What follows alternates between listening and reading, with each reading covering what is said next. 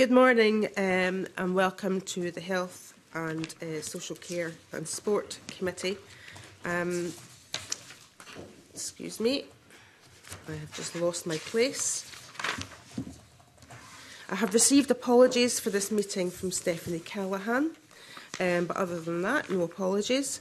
And the first item on our agenda is to decide whether to take item 5 and the next meetings of the committee uh, on the 28th and the 7th of March in private. Are members agreed? Agreed. We're agreed. Thank you. And we now continue, our next agenda item is to continue our scrutiny of the Patient Safety Commissioner Scotland Bill and we've got two evidence sessions this morning. The first session involves representatives from industry bodies and professional organisations relating to patient safety and then the committee, uh, after a short break, will hear from the Patient Safety Commissioner for England. Um, as a, a number of members thought that would be, be useful. But for the first panel, a welcome to the meeting Dr Amit, Amit Agarwal, uh, the Executive Director of Medical Affairs for the Association of the British Pharmaceutical uh, Industry. We've got Sean Gallagher, the Director of Strategy and Policy for the General Medical Council, or the GMCs, we'll call you. Um, Matthew McClelland, the Director of Nursing and Midwifery Council, and Dr Chris Williams, the Joint Chair of the Royal College of General Practitioners in Scotland. And joining us online, I welcome Richard Phillips, the Director of Strategy for the Association of British Health Tech Industries. So good morning to all. And I will do my, my usual and um, with the caveat that not all, every member will be able to go round the entire panel for every question or else we'd be here all day. But I, I, I tend to like to start with that opening question and allow everyone to, to state their case. Um, on the, the, your general views on the establishment of a patient safety commissioner, and would you think that a patient safety commissioner would add in value uh, in terms of the, the, the add to the existing scrutiny mechanisms that there already is uh, for patient safety.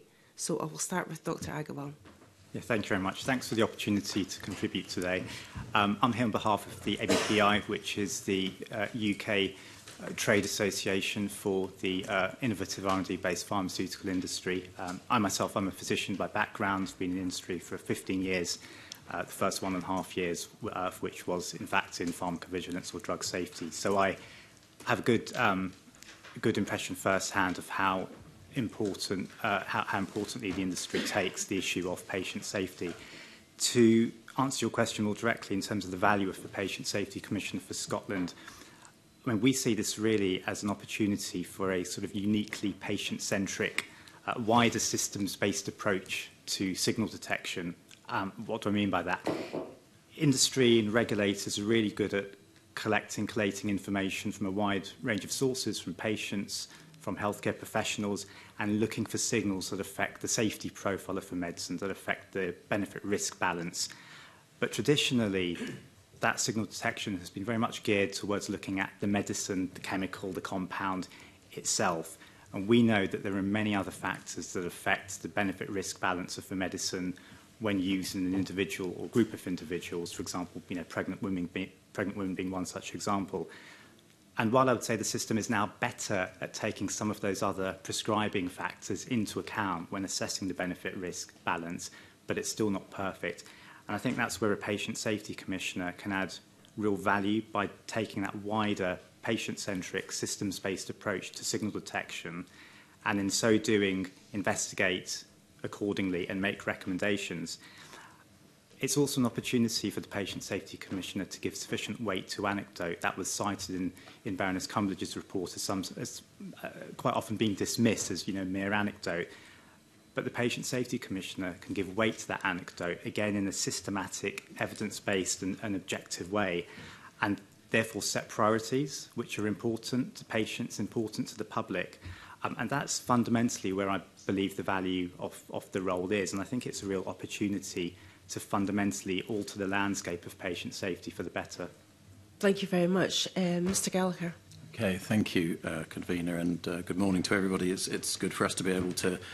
give evidence to the, to the work of this committee. Um, so I'm Sean Gallagher, I'm from the General Medical Council. We are the statutory regulator for doctors and we operate uh, UK-wide and uh, our fundamental purpose is to protect patient safety through the regulation of doctors' education and practice. Um, uh, like uh, Dr. Agarwal, we very much support the establishment of the Patient Safety Commissioner through this bill.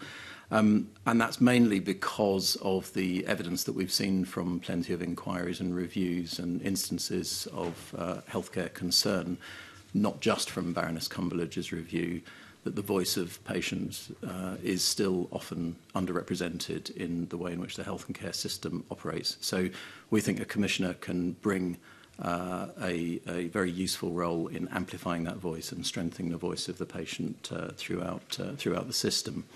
Um, Uh, we do have um, some suggestions or views about where the bill could be strengthened. I'm sure we'll come on to those during the course of the discussion. Okay, um, we, we will. I mean, you can, you, you're mostly welcome to do it now, but if you, you want to wait, then that's fine. If I could just give you very quickly three things. Yes. So one, one is we think um, there are further steps in relation to, this, to the principles that the bill requires the Commissioner to have, that there could be a, an open and full consultation on those, mainly to address the concerns that I know many have had about cluttered patient, land, uh, patient safety landscape and uh, duplication or ensuring that the role fits in the most effective way and adds value. So that's the first one. The second, probably the, the key one for us, is powers of data sharing and just checking that the commissioner's powers are set in the right way mm. to enable sharing of data, particularly with us as a professional regulator. We, we think it's a bit constraining at the moment compared with other organisations uh, of a similar kind. Uh, Um, and then the third one is uh, a relatively small point, but the powers in relation to um, asking organisations to report on how they have implemented recommendations that have been made seem like a one-off, one chance rather than the opportunity for the commissioner to revisit and review on an ongoing basis. So those are the those are the key things. Thank you, very, helpful. I'm glad I asked you to continue. Uh, Matthew McClelland.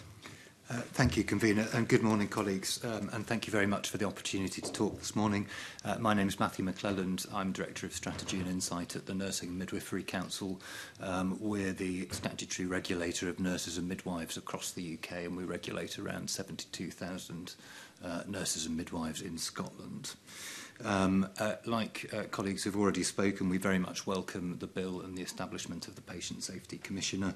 Um, it's a real opportunity to amplify the voices of uh, patients and to take a system-wide uh, approach to improvement, which we very much welcome.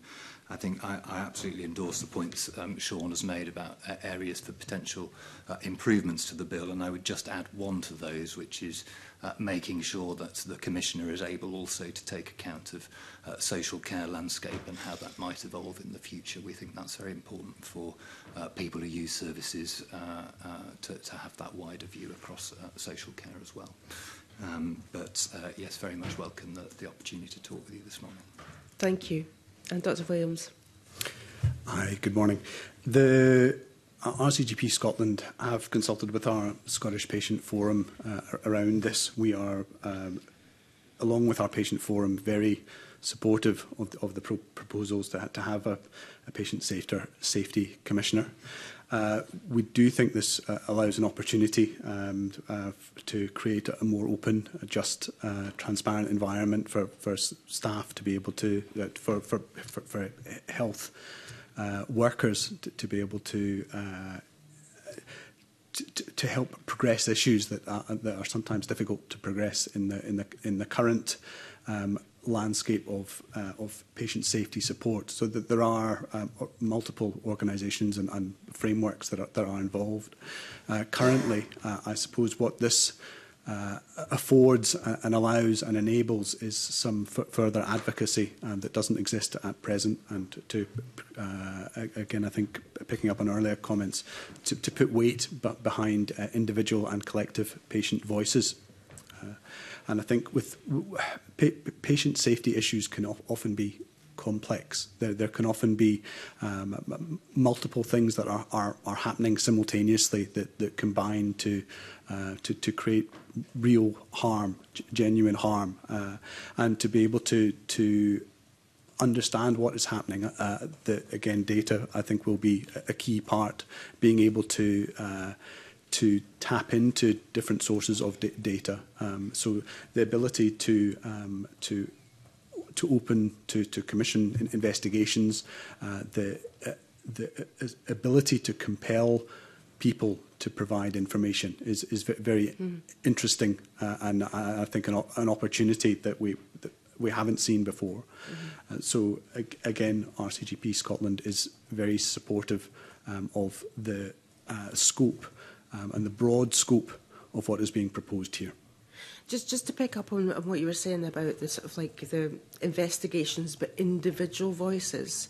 Do you support the rationale of it not being about taking on an individual case as such, but having it been maybe prompting a wider investigation?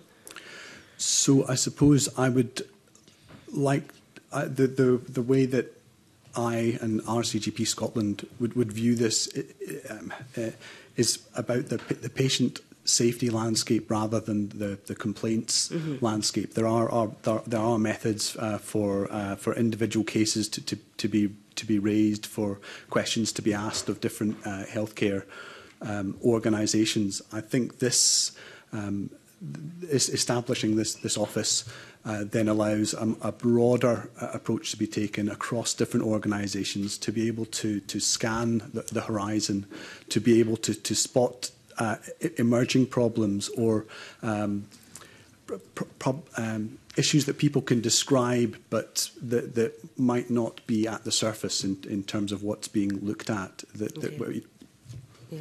Uh, I'm going to bring in Richard Phillips and then Sandesh probably wants to pick up on some of the points you're saying, but I think it's important to get, get Richard Phillips. So you don't feel left out, particularly when you're online. I haven't forgotten about you. My, my first my first question, your, your, your general views on, on the Patient Safety Commissioner, Mr Phillips. Yeah, th- thanks, Kavita, and like everyone else, I'm very grateful to be with you this morning and, and trying to uh, assist you, your work in, in this inquiry. Uh, please accept my sincere apologies. I'm not there in person. It's uh, I have a, I have a school-aged daughter on half term, a 17-week-old puppy. My wife is uh, away on a course this week. and we have no family, so it, it just wasn't practical. Um, listen, I'm Richard Phillips, Director of Strategy from the Association of British Health Tech Industries we represent the manufacturers and uh, suppliers of uh, medical devices, diagnostic and digital health technologies. We have about 350 members out of a sector which is, has about another 3,500 uh, um, companies in the space. Many of those are small uh, and, and medium-sized enterprise. The vast majority are small, innovative companies um, developing solutions, often uh, in close, um, in close um, um, and partnerships with clinicians. We are essentially an engineering industry. Um, I don't disagree with what uh, anyone has said so far. I'll try and perhaps um, give a slightly different slant on it and, uh, and maybe give you some thoughts about how um, uh, the, some of the bill might be strengthened uh, from what from what some of the, my colleagues have said.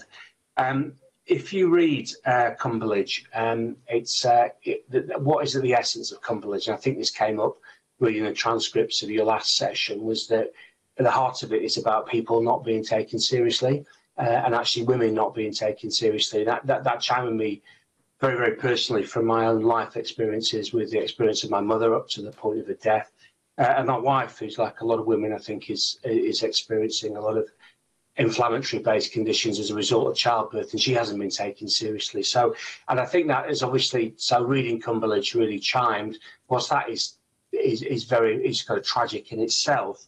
And um, it, it, also it, it's it's a problem because it, it, causes people to lose confidence in the use of medical technologies and the use of systems that are in place to uh, to, to, to protect them and keep them safe. Um, so I think that that voice is uh, is really really important, and we welcome we're delighted that we have a patient safety commissioner now in uh, in England. Uh, and uh, and we look forward to, to working with the uh, in Scotland once that's been Uh, uh, gone through in due course and following due process. I think the other role the Patient Safety uh, Commissioner can play is is encourage a grown-up conversation about the risk and benefits of medical interventions. No effective medical intervention is completely without risk, uh, and I think we have to recognise it's a difficult conversation braveness to have when we're in front of a doctor and we want to be helped quickly, um, pain-free and risk-free, but also recognising that that's, um, the balance, uh, the appetite for risk may shift depending on your own uh, personal circumstances, your age, the condition you have, uh, etc. And I think we saw that in the pandemic in um, with, uh, with, with people who were uh, willing, including myself, to be vaccinated very, very early on.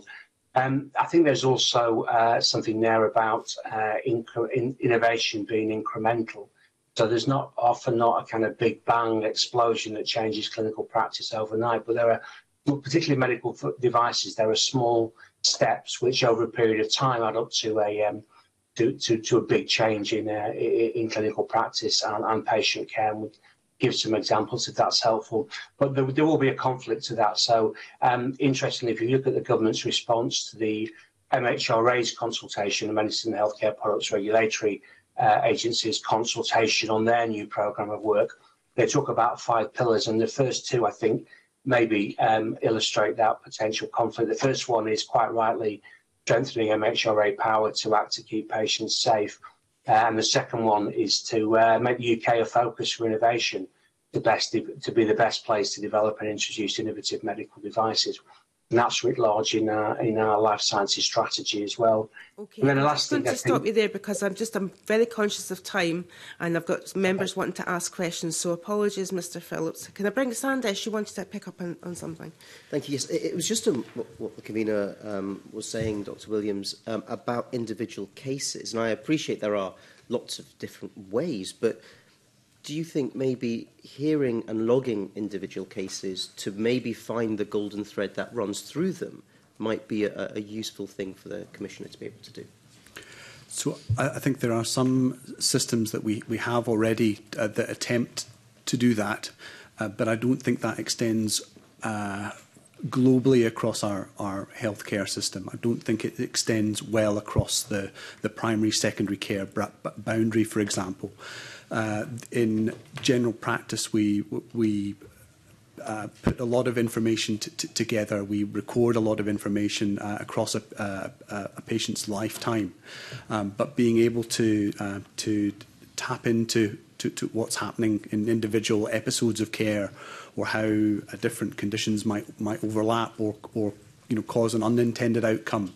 I think it's important, as you say, to be able to to have some sort of um, logging process or ability to keep track of things that are potentially incidents, potentially harm. Um, the, we again, in, within individual practices, we have significant event analysis. So when we know that something um, uh, something adverse has occurred, then we, we can look into that and try and unpick what, what has happened on an individual basis. But sharing that learning and being able to, to pick up on the, the the, the possibles, the probables, the maybes also has value. And I think it was mentioned earlier that the speed of response and being able to, uh, to intervene at an earlier point um, to, to, to raise the profile of something that, that, uh, that is causing harm and to be able to, to strip that out uh, would seem a, a, large benefit that's waiting to be realised. Mm, now move on to specifically on medicines and medical devices. Gillian Mackay. Thanks, convener. Could I maybe come to um, to Dr to Dr Williams first? Uh, how can the Scottish PA, uh, Patient Safety Commissioner complement the work of the Patient Safety Commissioner in England and the MHRA, and how does that interact, do you think, with, with the work of, of clinicians up here as well?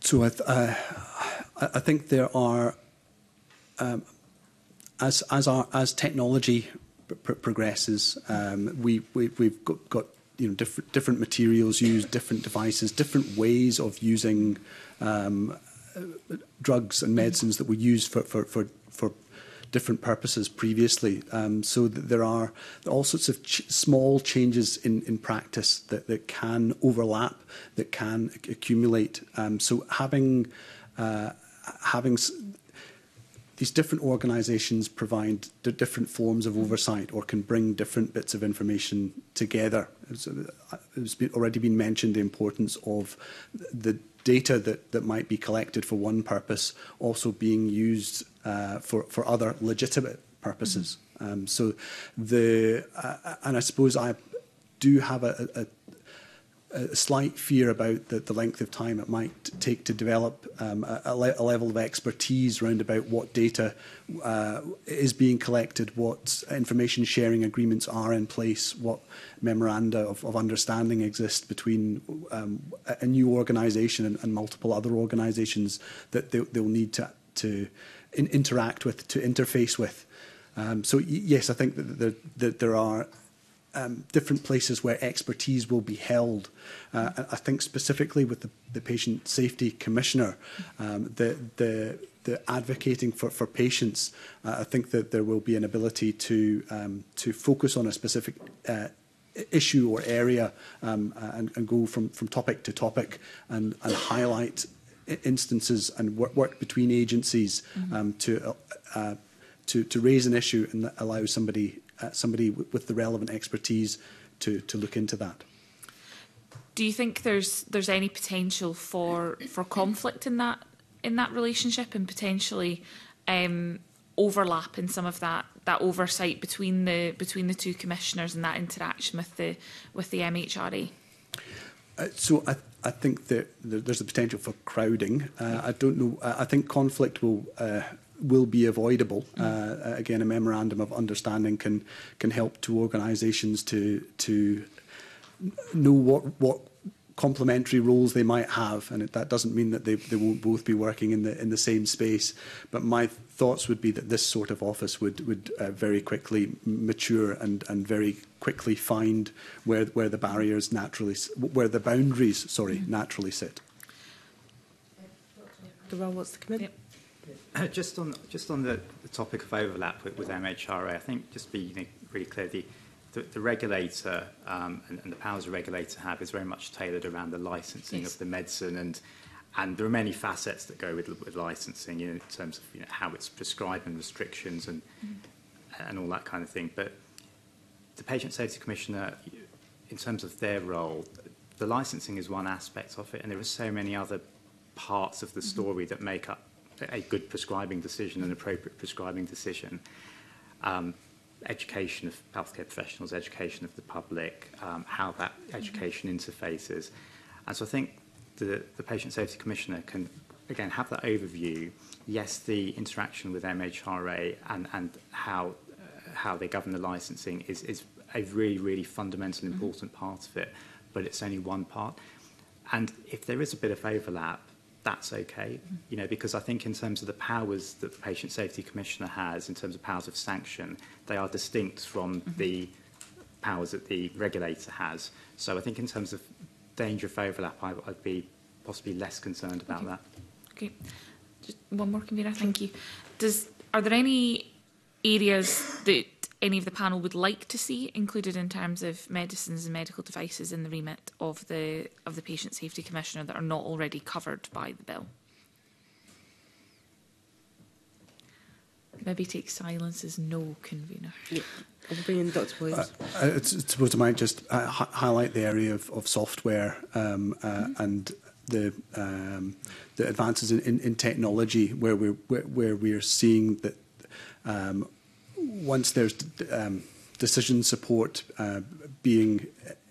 e-, enabled by by devices, by systems. Um, uh, once information is being uh, not only manipulated and pre presented, but when when there's a um, a system that, that helps pr produce or prompt, uh, you know, a, a, specific course of action, um, then that that's you know that that's a, a more more recent, more modern um, area of focus that we've had to grapple with both ethically and, and professionally.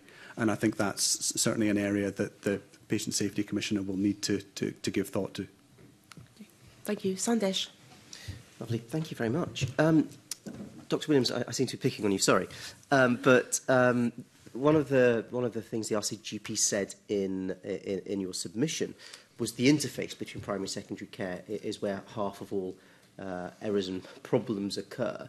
And certainly something you touched on in my opening question to you. And, and just as an example, uh, when I was in GP last week, I had a patient come to me telling me all the things that the hospital had said and done to them, but I didn't have a discharge letter to tell me anything.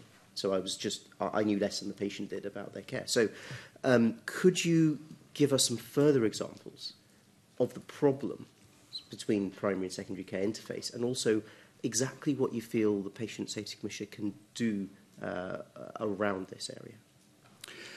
Yes, so I think you're exactly right to, to highlight that the, the communication between primary care and, and secondary care often has deficits. Uh, and uh, some of that can be around the, the format that that communication takes that somebody might spend several days uh, uh, um, going through an emergency uh, admission to, to a hospital, have all, uh, there might be all sorts of different professionals involved, all sorts of dis different discussions, uh, scans, and and other other tests, and that the information that that is then relayed at the end of that might some of that might have been carefully summarized or, or or distilled down, but um, but we often you know have a sense that there, there's more that, ha that more has happened during that period of time than than gets handed handed over.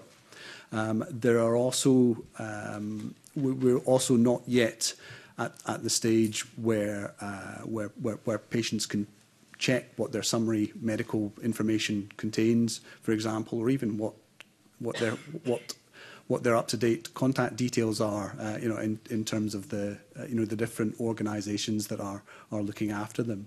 So I think we're still in a place where um, where people who are receiving care and people who are or our carers for those who are in, in our our uh, uh, our health system uh, don't have that that level of of, of assure, assuredness or uh, ability to you know to, to check things that are that are, are being done on their behalf or being done for them uh, and I think um, that's uh, some, something that the, the, the patient safety commissioner may well um, want to to, to pick up on multiple instances of this you know, across the board and to improve the, the, the, the use of information, the communication that happens between different, uh, different parts, again, across these interfaces uh, where, where we, we, we know that if you're looking for, for error that's where, or harm, that's where it may occur. Thank, thank you, Convener. Just a quick question. Um, and good morning to everybody. I'm thinking about the remit of the Patient Safety Commissioner and like sometimes we um, the impact of care or unsafe care is not directly or overtly evident and and in the the remit of the patient safety commissioner um Dr Williams talked about the advocating for patients so I'm thinking about advocating advocating for a group or a population where harm has occurred related to caring maybe lack of compassion. It's not really directly safety orientated. Um, would you expect the Patient Safety to, Commissioner to have a bit of a, a wider remit where harm might not be overtly caused in a certain patient population? Emma. Dr Williams. Uh, so uh, uh, I, I can think of lots of instances uh, where where someone has received poor care, where there isn't a patient safety issue, or, or where they have been let down, disappointed, where they, where, where, they haven't had a good experience. Um, and my, I suppose, with, with, with patient safety being something that as a, as a medical profession, um, uh, uh, in terms of the, the other um, the, the, the broad range of clinicians that, that have enthused about patient safety, that have tried to, to, to bring in improvements, uh, and yet still still here we are with uh, uh, with patient safety issues still uh, occurring regularly. I, I would think that the that the the work ahead of a patient safety commissioner uh, is is so substantial that that, that I, I would hope that they would be able to focus on the, the patient safety elements. Although I appreciate that I say that there's all sorts of um, poor healthcare experiences that we want to you know, that we want to get to eradicate that we want to improve upon. Okay, uh, Matthew, and you come. thank you. Yes, I mean I think I'd probably take a slightly different um, view from uh, D Dr. Williams in the sense that I think there's a, a really very close link between compassion and safety actually, and in particular to listening to patients and listening to um, people who use services. Uh, and so, I mean, I, I do absolutely think there is scope for the Patient Safety Commissioner to take a slightly broader look at things. I do accept and absolutely agree there are some things about service delivery that might be better dealt with through a complaints mechanism. But where there is a systemic lack of listening, a lack of compassion, there is a really strong link to patient safety. And therefore, I think it is absolutely crucial that the Patient Safety Commissioner is able to take those issues on and look at them uh, uh and make recommendations for improvement across the system where necessary. you. We then move on to talking about um, the voices of staff in this and questions led by Paul Kane. Uh, thank you very much, convener, and good morning to the panel. Um, I think in the evidence uh, we've seen large degree of support for that patient voice, but I think it's important to explore uh, the idea of uh, staff voice in, in this as well. Uh, and particularly, I think, in terms of whistleblowing processes, providing a safe space for staff, to communicate their concerns and also I think to add to the intelligence perhaps of what a patient is saying uh, in this process. So I suppose uh, my initial question would be, uh, you know, do you feel that there is a place uh, for that in terms of the role of the commissioner uh, and engaging with staff in, in, in that way? And I would perhaps ask Matthew first to comment if possible. Yeah, um, th thank you very much. Um, And uh, I mean, I think that there certainly is a, a, a place for the views of staff in this because, of course, many staff, nurses and midwives in particular, from our perspective, are dealing with uh, patients, people who use services all the time, and are really well placed and trained to advocate for patients and people who use services. So there absolutely is a place within what the Patient Safety Commissioner does to, to hear those views. But I, I mean, I, I come back to the sort of Ron Seal approach. It is the Patient Safety Commissioner. Uh, and therefore, I think it's really, really important that the primary voices that uh, the, uh, the, the Commissioner hears are the voices of, uh, of patients and, and people who use services. Um, there are routes that exist already for staff, um, and um, we're very clear as a, as a regulator, as are others, that uh, openness and learning are absolutely key to patient safety um, colleagues have a duty to speak up when something goes wrong. We've um, developed joint guidance with the General Medical Council on that point. We, we also acknowledge that it's not always easy for people to raise concerns. We have guidance that we provide for colleagues to assist them um, in doing that. Um, and then, as I say, there are various routes um, uh, where, where a prescribed person under the whistleblowing legislation, so people have a measure of protection when they come to us, uh, as they would to the to Healthcare Improvement Scotland uh, and other organisations. So I, I think it's quite important, as it will be in all of the commissioners' work, to look at the whole landscape, to work out what's um, the right routes for people to raise issues are, uh, and for the Commissioner to be able to listen to a range of views and really focus on, in on the things which are important to patient safety. That, that may include voices of staff, but uh, I wouldn't see this necessarily as becoming a primary route for colleagues to raise concerns because I think there are existing routes um, which might be might, might be usefully um, continued and exploited. Thank you. I wondered, yeah, I wondered if Sean might want to comment. Well, so I, I don't want to repeat things that Matthew's already said. So um, an, an, awful lot of what he has just said, I would say, absolutely uh, reinforce that. Um, I suppose one of the things that it, uh, I, I, believe you're hearing evidence from um, Henrietta Hughes later today, and that may be a worthwhile question to pursue. I know that one of the things that she has set herself as an objective is thinking about the culture mm. in healthcare organisations that supports patient safety and what that means that she can press and encourage in healthcare organisations to think about the voice of the patient. That may well include uh, organisations. Um, uh, ability to, to create safe environments where staff feel able to speak up. That's a, a really critical indicator for uh, safety and, uh, uh, and effective care for patients. Um, and, and certainly, again, if you look back at inquiries and reviews and incidents that have happened, far too often it is clear that people did know that there was something wrong among the staff, the professionals working in the service itself, but didn't feel safe enough to speak up, and that's that's a critical issue. Um, so as Matthew has said, absolutely, it's central to patient safety, but how much of the, the time and energy that the Patient Safety Commissioner can give to that rather than trying to pull out the voices of patients that are less heard uh, is a tricky balance to pull off. if I can, convener, I think just to perhaps expand that um, to uh, Amit in terms of, um, I suppose, should we explicitly include hearing from people from the pharmaceutical and health tech industries. You know, should should the commissioner be looking to engage with uh, those industries in terms of trying to understand the bigger picture of of often what can go wrong and how essentially we can we can make moves to prevent that?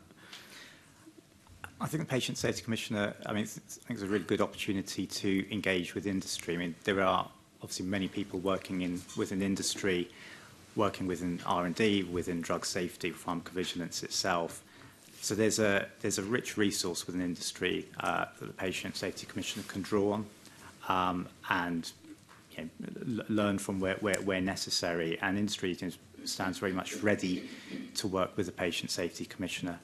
Um, also very mindful of the independence of the role of the Patient Safety Commissioner um, and so very happy to engage you know, on, on his or her terms as, as they deem appropriate. But I think just, just to reinforce the points already made, um, the scope absolutely has to be, the focus absolutely has to be the patient voice. Um, yes, where there are, if there were concerns raised by individuals within the industry, you know, they have the regulator um, another uh, an internal whistleblowing procedures, the regulator who they could escalate things to.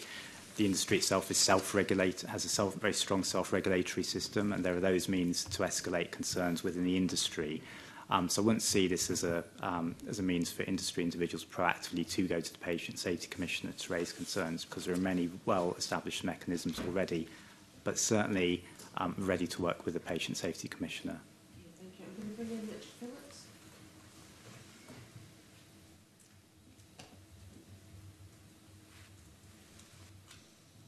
We're just waiting for your microphone to be made live.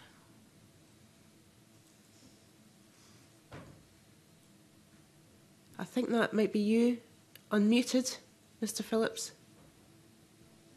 Hey, can you Oh, yeah, yeah. Yes, there it is now. Yeah, I can hear you. Yes. Uh, yeah, Paul. I think that was a that was a fantastic question. I think you you've actually nailed what would be a really really valuable role of the independent uh, uh, patient safety commissioner. Someone mentioned before about patient safety being a rather cluttered landscape, uh, and it is. And I think that role is uh, the, the independence the commissioner can bring as a sort of convener and an advocate. So as it happens, we have a discussion uh, in a couple of weeks' time um, between the Healthcare Safety Investigations Branch, CQC, MHRA and the Ombudsman and the Patient Safety Commissioner to see just how can you bring all those various elements together. That includes ourselves because you know, patient safety is is absolutely forefront of, of, what we do as an industry. So yeah, I, th- I think your point is very well made, Paul, and I, I think you're absolutely right. I'm going to bring in Tess White. Thank you, Convener. Um, my question's to Matthew, please, from Nursing and Midwifery Council. So, Matthew, um, you talk about whistleblowing, but what other mechanisms are in place for staff to raise con safety concerns? Mm. So within organisations, um, there, there should be opportunities for people to raise star, raise um, concerns within their teams uh, and to raise concerns beyond that if, if necessary. Um, I know the, the National Whistleblowing Officer has issued guidance on how whistleblowing concerns should should should um, uh, should should, um, should be handled by organisations. Of course, there'll be wide varieties of practices within teams from stand-up huddles, um, ward rounds, all of those sorts of um, uh, mechanisms that exist within organisations and within teams for people to discuss the issues that are of concern to them, the issues which are coming up to them from patients and people who use services, and make sure those issues are explored and um, resolved. Um, so I think that there, there are a wide range of mechanisms in place within organisations. Where, where those are not working effectively are where some of the problems occur, and that's where the lines out of the organisations into regulators like, uh, like the NMC regulators of professions or uh, Health Improvement Scotland or the National Whistleblowing Officer operate. But, but normally, those mechanisms should operate as, as close as possible to the environments in which the care is delivered. And, and just a quick one. Do you think, Matthew, that the having a PSC will actually um, add value to this to the processes that are in place? I think it has the potential to do that. I think the, the, the, it will all depend on the approach the commissioner uh, commissioner takes, but I absolutely think it, it can and it should add value um, both in terms of identifying uh, uh, opportunities for systemic improvement and driving those across um, different organisations, bringing a measure of um, consistency. Uh, and as Sean said, um, uh, you know, potentially looking at the culture within organisations to get that open and uh, supportive and learning culture really embedded within organisations, which is, you know, in a way, at the, at the absolute heart of patient safety. Thank you. Thank you. Um, we now go on to questions from Evelyn Tweed on blame culture. Thanks, convener. um, my first question is to Richard Phillips. Richard, you talked about grown up conversations and you also mentioned um, the issues, particularly women have in raising problems with services, etc. Do you think that a patient safety commissioner will open up avenues for women to be heard and taken seriously? I can only hope so. Um, and I, I, think it's the, the independence of, of, the role, which I think is going to be important in that case. Um, you can see people who maybe feel they've been let down by technology, they've been let down by the by, by the system, and, and they don't feel they've got anywhere to go. um, and, uh, you know, that, that challenge that much my own personal experience, and you know, sorry to share that with you, but uh, I think an independent uh, place to go. it's vital that people think they've got somewhere they can go that will actually listen and take them seriously. I think that will be uh, that will be a huge step forward, uh, and I think everyone would, wish to get behind that. Again, it's that it's that independence removed from the service, removed from the current structures that are already there, but a, a different place where people can go to feel they've got a strong advocate. And also to Richard, do you th- actually think there is a blame culture? And why is that? And if there is a blame culture, how do we move on?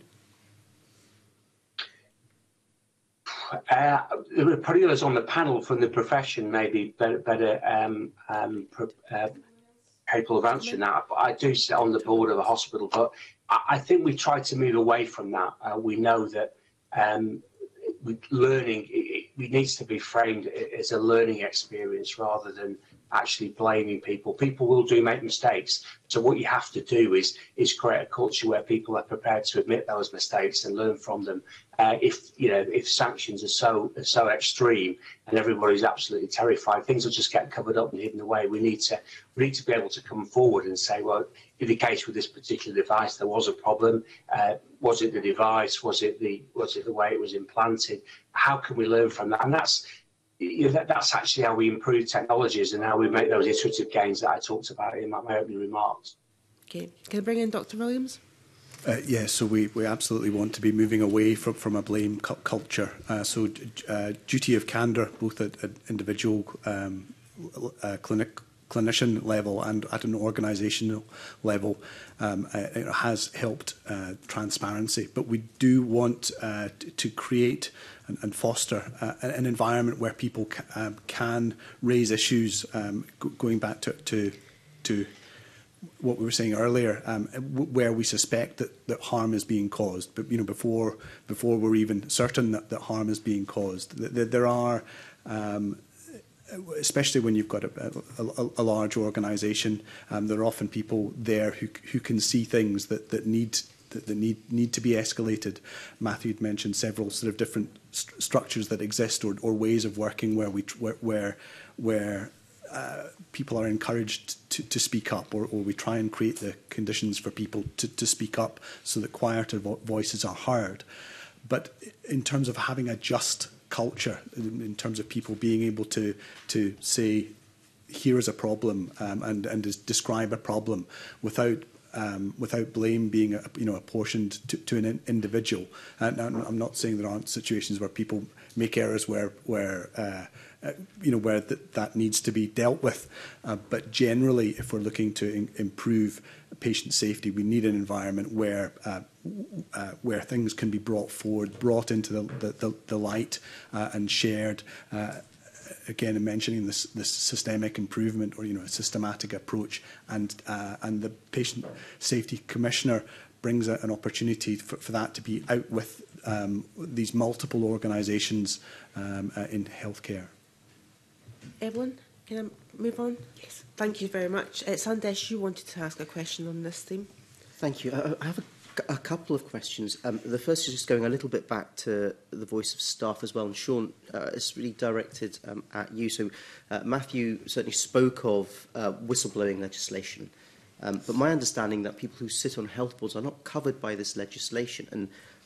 does that not create a little bit of a, an issue, especially when we're talking about blame culture?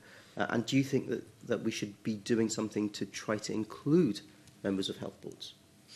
Um, so I'm afraid I can't speak to whether that's correct. That, I mean, I'm, I'm sure that that's true. That, that, the whistleblowing legislation may not encompass everybody that uh, that, that it should. Um, but more generally, it is absolutely critical that there is the right framework in place to encourage people to feel able to speak up.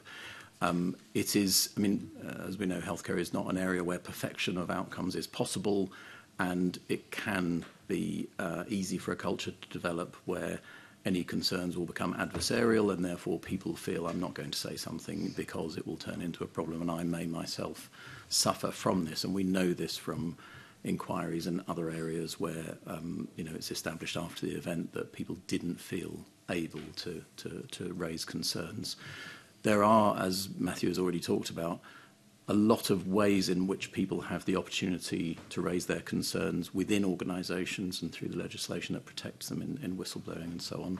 And there are, you know, we ourselves have a confidential helpline for, for doctors in particular to, to speak and sort of understand what they may be uh, feeling and, and to support them in their concerns for how they, they speak up. And we also issue a lot of guidance through our um, uh, good medical practice guidance for, for how doctors should should consider these these questions. Um, it, in a sense, the the opportunities to raise concerns all need to be there, but it's the culture and the environment that people feel that they're within that that, the influences whether they're able to do it. So One just, of the, just on, on your point of of culture. Um, do you feel, and, and I suppose that, Matthew, I'd like to include you uh, in the follow-up, but do you feel that the culture that we currently have, that possibly the Patient Safety Commission might be able to help with, but do you feel the culture that we have is one where there is blame, where people are a bit worried? So we've heard in previous committees uh, about cover-ups and people being very worried um, and, and, so, uh, and using Datex forms as threats or I'm going to complain about you as a threat to get what you want. So do you feel that the culture really is one of blame and that we need to move away from? Absolutely. We know that there that if you just listen to what people tell us, they say they feel that there is a culture of blame that they um, that therefore um, can encourage them to um, cover up their concerns rather than speak out. Um, one of the useful things to, to keep track of in any organisation is the sort of staff survey material about do you feel able to speak up, do you feel confident if you raised a concern that um, it would be listened to and that you would be supported in, in doing that. So I think we can we always need to do more to encourage a culture of learning rather than blame. Adversarial processes can easily kick in whenever there are concerns and understandable in some ways when We think of the harm that patients may feel that they've suffered. Um, but we know from all of the evidence that actually best outcomes come from a culture where those sorts of concerns can be uh, raised earlier, addressed, and without turning it into a punitive process for the professionals involved, where there, there is just learning that can be taken from that. So um, I think the Patient Safety Commissioner, again, it comes back to what is that person's role in encouraging the broader culture of safety, perhaps rather than specific mechanisms or legislation uh, that they can that they can take forward. And I would hope that that could be a contribution to it. Thank you. I'm going to move on to talk about the powers of the Patient Safety Commissioner, uh, led by Emma Harper. Thank you, convener. I'm interested to know what your thoughts are about um, the Patient Safety Commissioner regarding having sufficient powers to, to bring about improvements in patient safety. You know, we've got the Scottish Patient Safety program already that's widened to look at maternity and neonatal, primary care, um, paediatrics, medicines. You know, I was part of the surgical safety stuff when I worked in the operating theatre, when I worked in California, you know, implementing that surgical safety checklist and things like that. So I'm interested to know about whether you think that this Patient Safety Commissioner will have enough powers to actually make make safety improvements.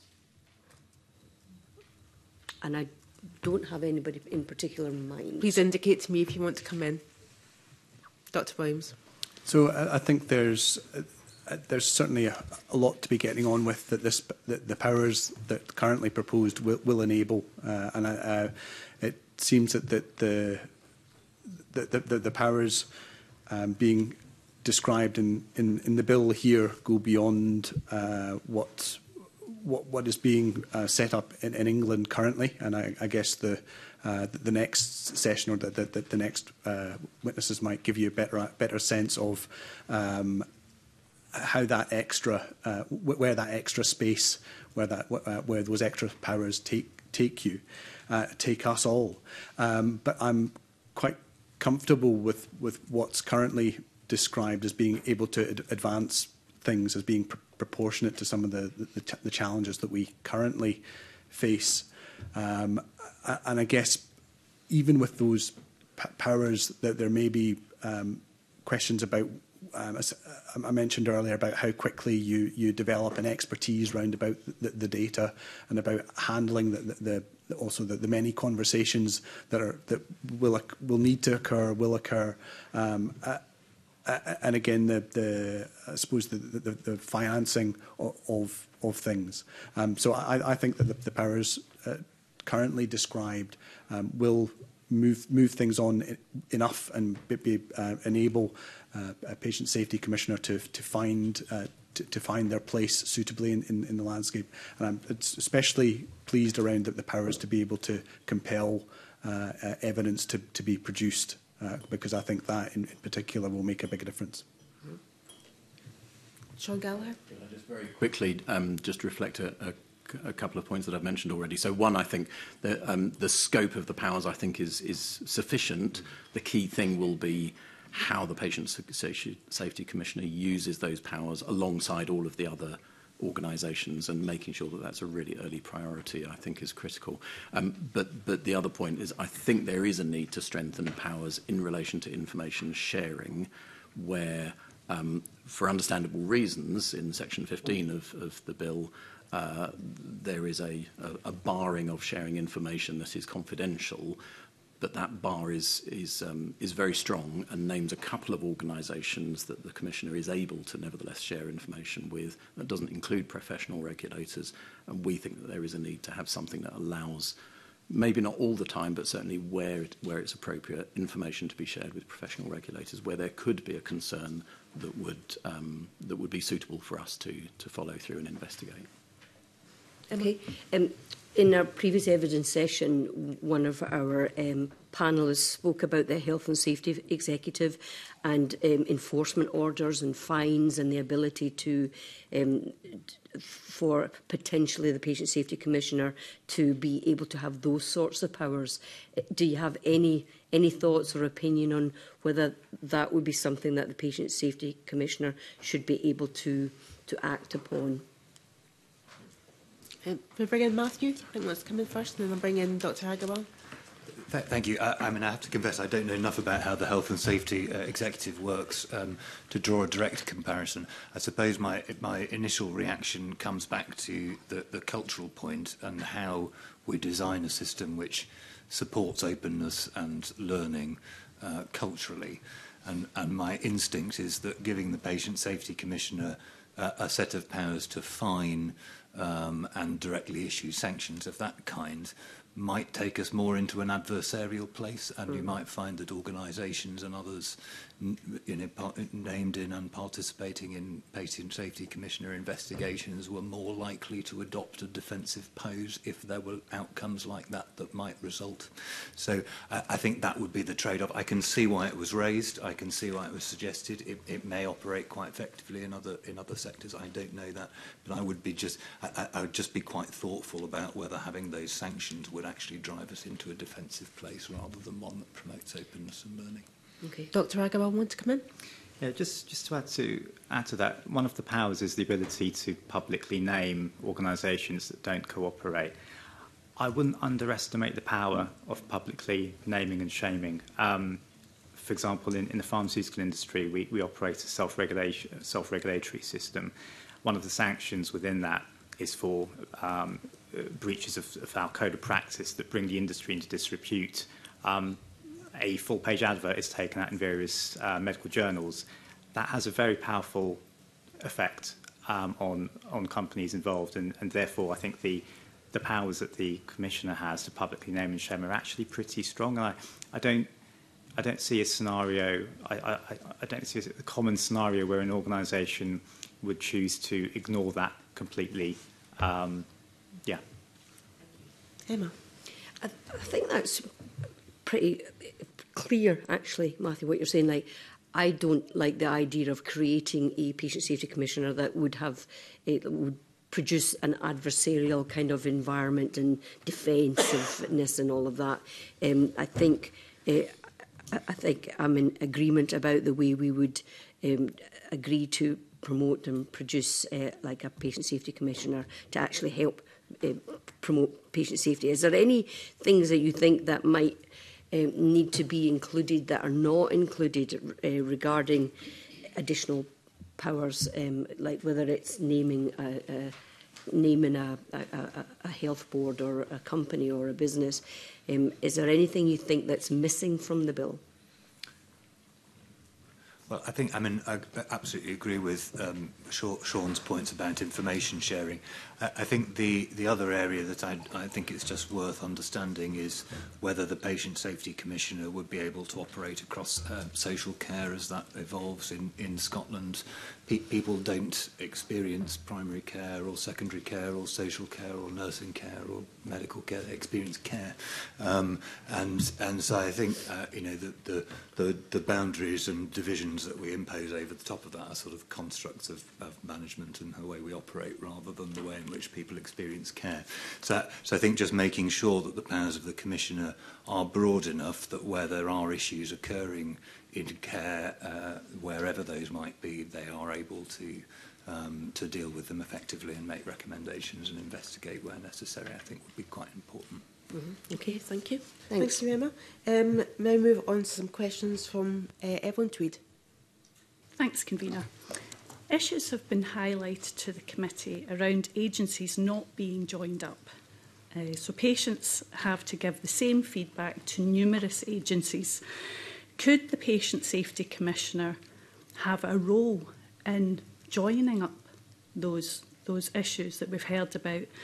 And might this sacrifice a level of independence in your view? And I'd like to ask Dr. Williams first. So I, I don't think it would uh, jeopardise the, the, the independent um, position uh, that the, the, the Commissioner would have.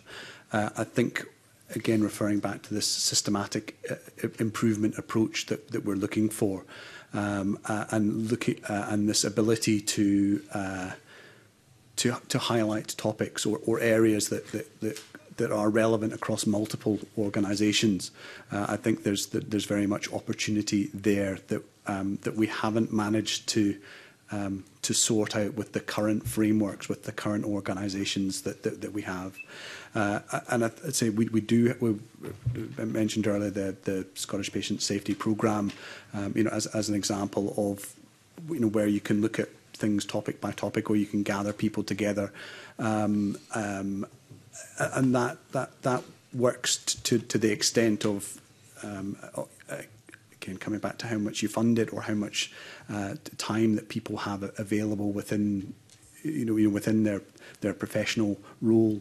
Uh, I, I think that the say the ability to work across organisations, across primary and secondary care, uh, I think some of the the the patient safety aspects are um, um, more or the the higher stakes e-, events can be more linked to, to the healthcare side of things than the social care um, aspects. Uh, but although broadly in health and social care, we're looking to um, to uh, get rid of those divisions, to to over to to stop artificial constructs.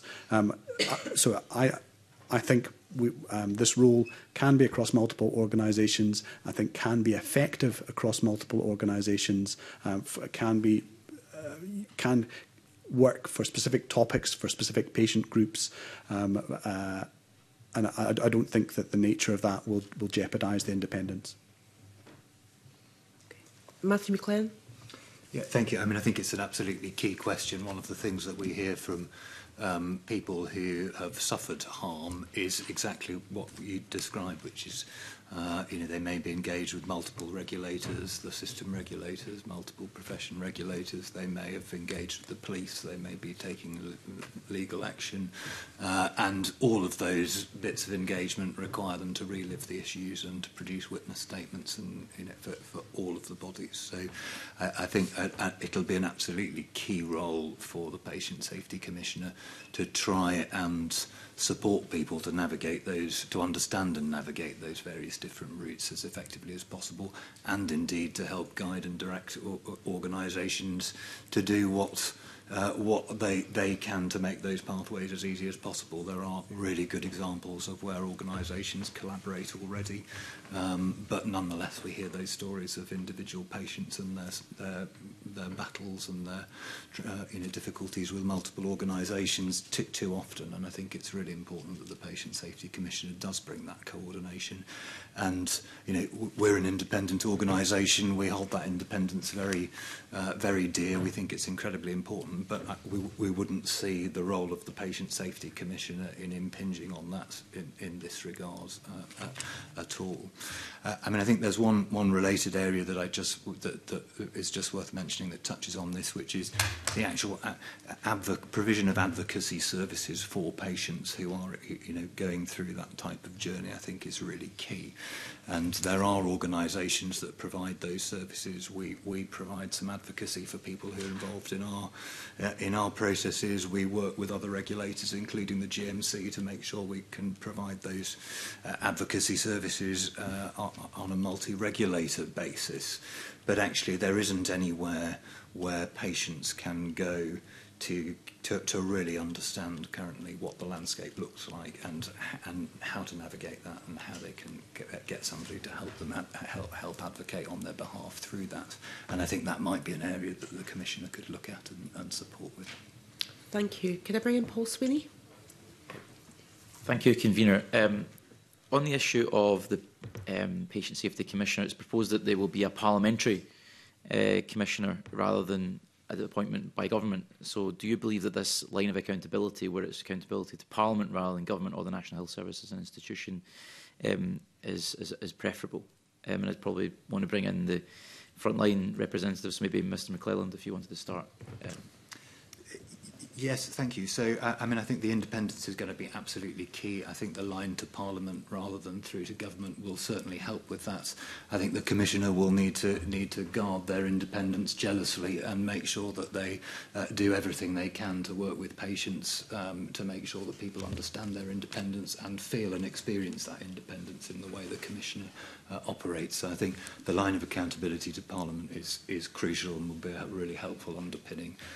but, but the way the Commissioner operates will, will need to reinforce that. Okay. Um, Dr Williams, your thoughts? Uh, so I, I'm comfortable with the line to Parliament for the, the reasons that Matthews are articulated. Thank you. Um, and Mr Gallagher, if you yes. So I would certainly agree with that. And as Matthew referred to before, as professional regulators, we are statutory independent of government and indeed independent of the professions that we regulate.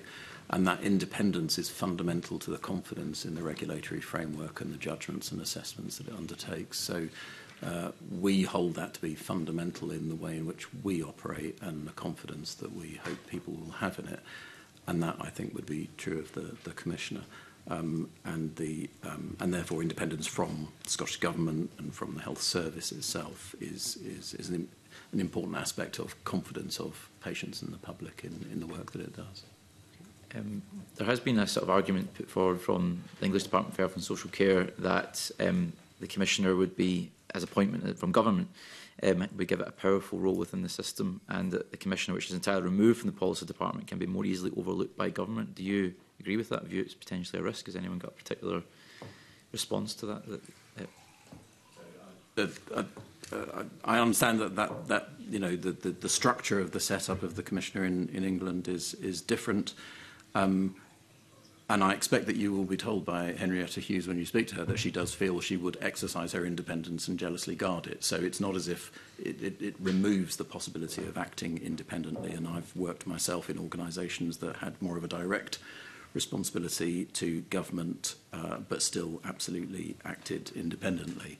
So it is possible. I think it just provides an additional safeguard and confidence that's visible to, to the public that there is uh, a degree of separation from the system. And I think that's, that's therefore an entirely positive thing. Thank you. Um, any further points? Yeah, okay. Okay, thanks. Thank you, Paul. Um, we now move on to talk about the resourcing um, of this post in this office. Uh, questions led by Sandesh Gohani. Thank you. Um, I, I think everyone on the panel uh, has spoken about other areas and other places they would like uh, the Patient Safety Commissioner to to have under uh, under their wing, and and so I suppose with four members of staff, uh, which is currently allocated, uh, knowing that there is also a lot of other commissioners So it's very expensive. Do you feel that the Patient Safety Commissioner is adequately resourced now in the future? Uh, and seeing as um, Sean and Matthew, you, you both first spoke about extra areas, I wonder if I could direct my questions to you to start with. I'm happy to start. So um, uh, I, I don't think I suggested additional scope of powers. I, I think um, uh, I would like to see additional provision for information sharing, which I hope would be something that could be simply done within the way in which the Commissioner would be operating anyway. Um, I think, um, in a sense, I think it's not for the GMC to take a view about the resourcing of the commissioner. It will be, you know, what the, the, the Parliament and uh, Scottish Government is uh, is able to uh, to resource. But what will be really critical is that the commissioner works with the resources that she or he has um, to focus their efforts on where they will make the most difference and add the most value. Um, as a number of uh, organisations, I think, have commented to you, there are a lot of organisations with some remit of patient safety already in Scotland and the healthcare system. Um, and I think one of the first priorities of the Commissioner should be to work out where to use the resource that they do have in the most effective way.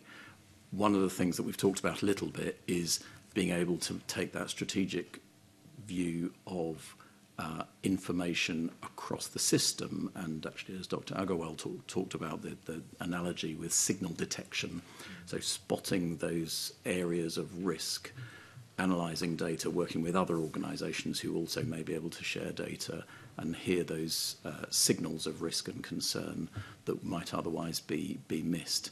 That doesn't necessarily have to mean a lot of work dealing with individual cases and complaints, as we've talked about before, but it does require a certain amount of capacity to, to assess and analyse and understand that, that broad range of information.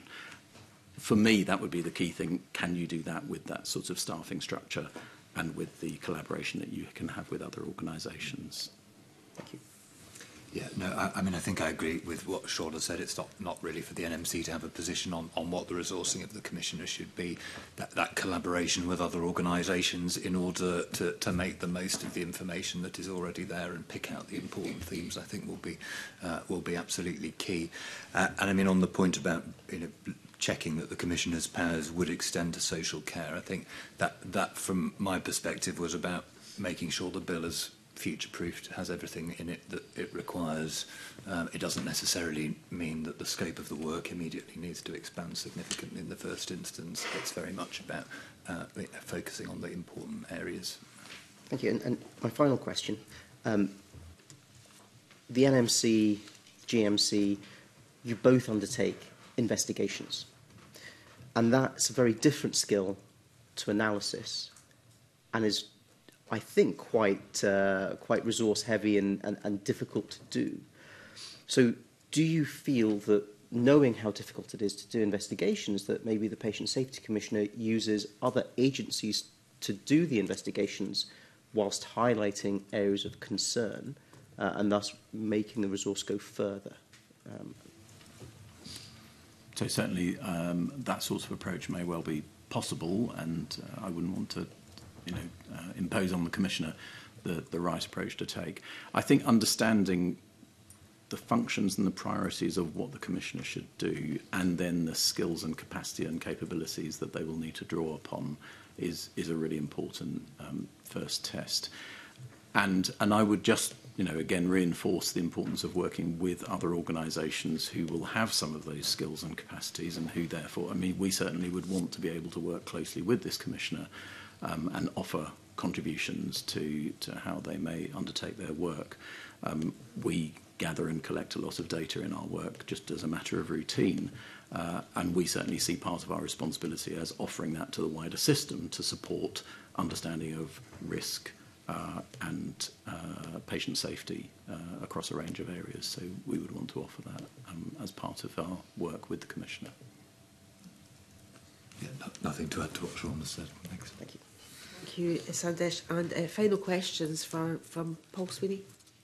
Um, yeah, thank, thank you, Convener. I think issues have been raised about the, the budget, obviously, and the, the, the described as a bit light, this half million pound per annum budget. I suppose also the discussion about the heaviness of the data and the, the sort of sheer volume of data. We know that most data is useless because it just it's not necessarily reliable. It's not necessarily being collected in the same way or, or in a rational way. Um, it may be biased. Um, is there any competences you would like to see within this office that are critical in terms of both pr process, technology, or skills that you think would be critical for it to be meaningful and give it best effect? Um, just happy to open up to any anyone who might have a view. Dr. Williams. Um, Yeah, so I suppose I've previously picked up on on the the, the data aspects in in our in our general practice um, clinical information systems, our, our our, our patient record. We're generally uh, collecting information for for direct patient care, uh, and I think there is a, um, a sort of wider piece of work needed if if we're going to change some of the you know uh, uh, some of the practices involved in uh, inputting and, and maintaining that that the information that goes into that record.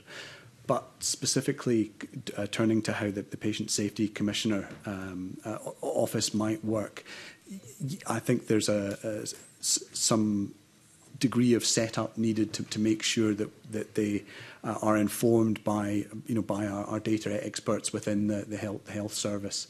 Um, uh, uh, and we, we, we have lots of them. Uh, and we have lots of um, information analysts and people uh, uh, people who have the, that expertise. And I'm sure that we have got um, uh, multiple health boards that can do, donate some of that expertise that can help uh, things be set up.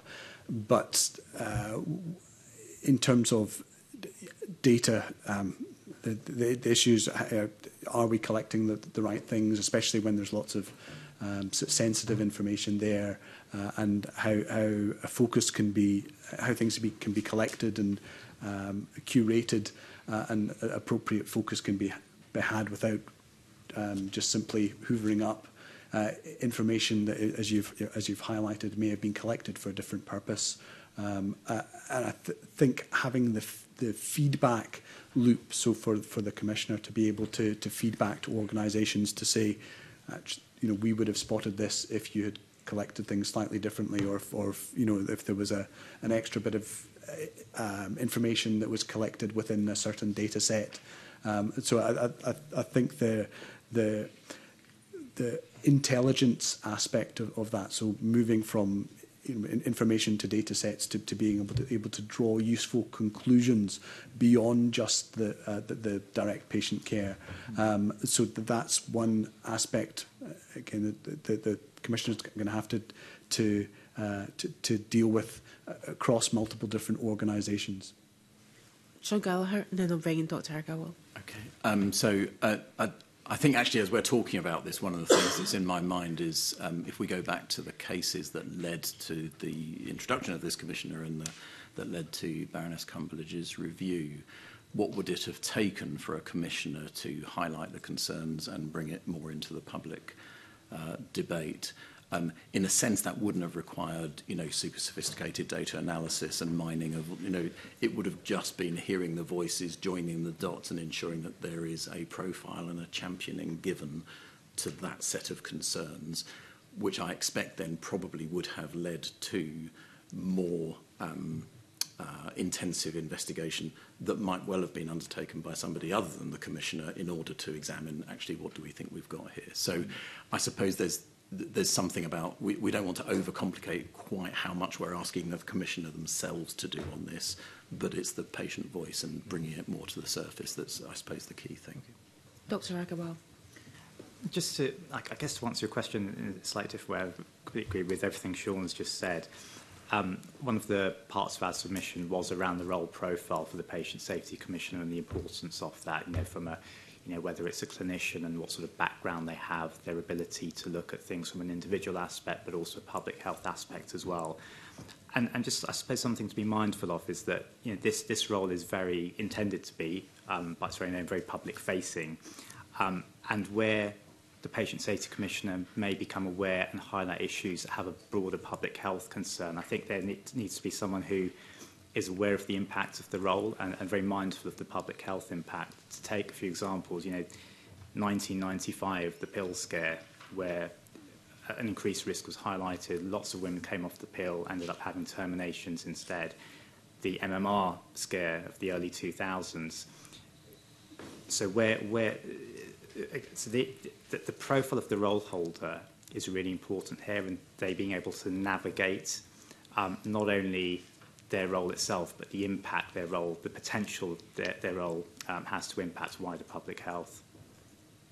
Thank you. I don't think there are any more questions, are there? No?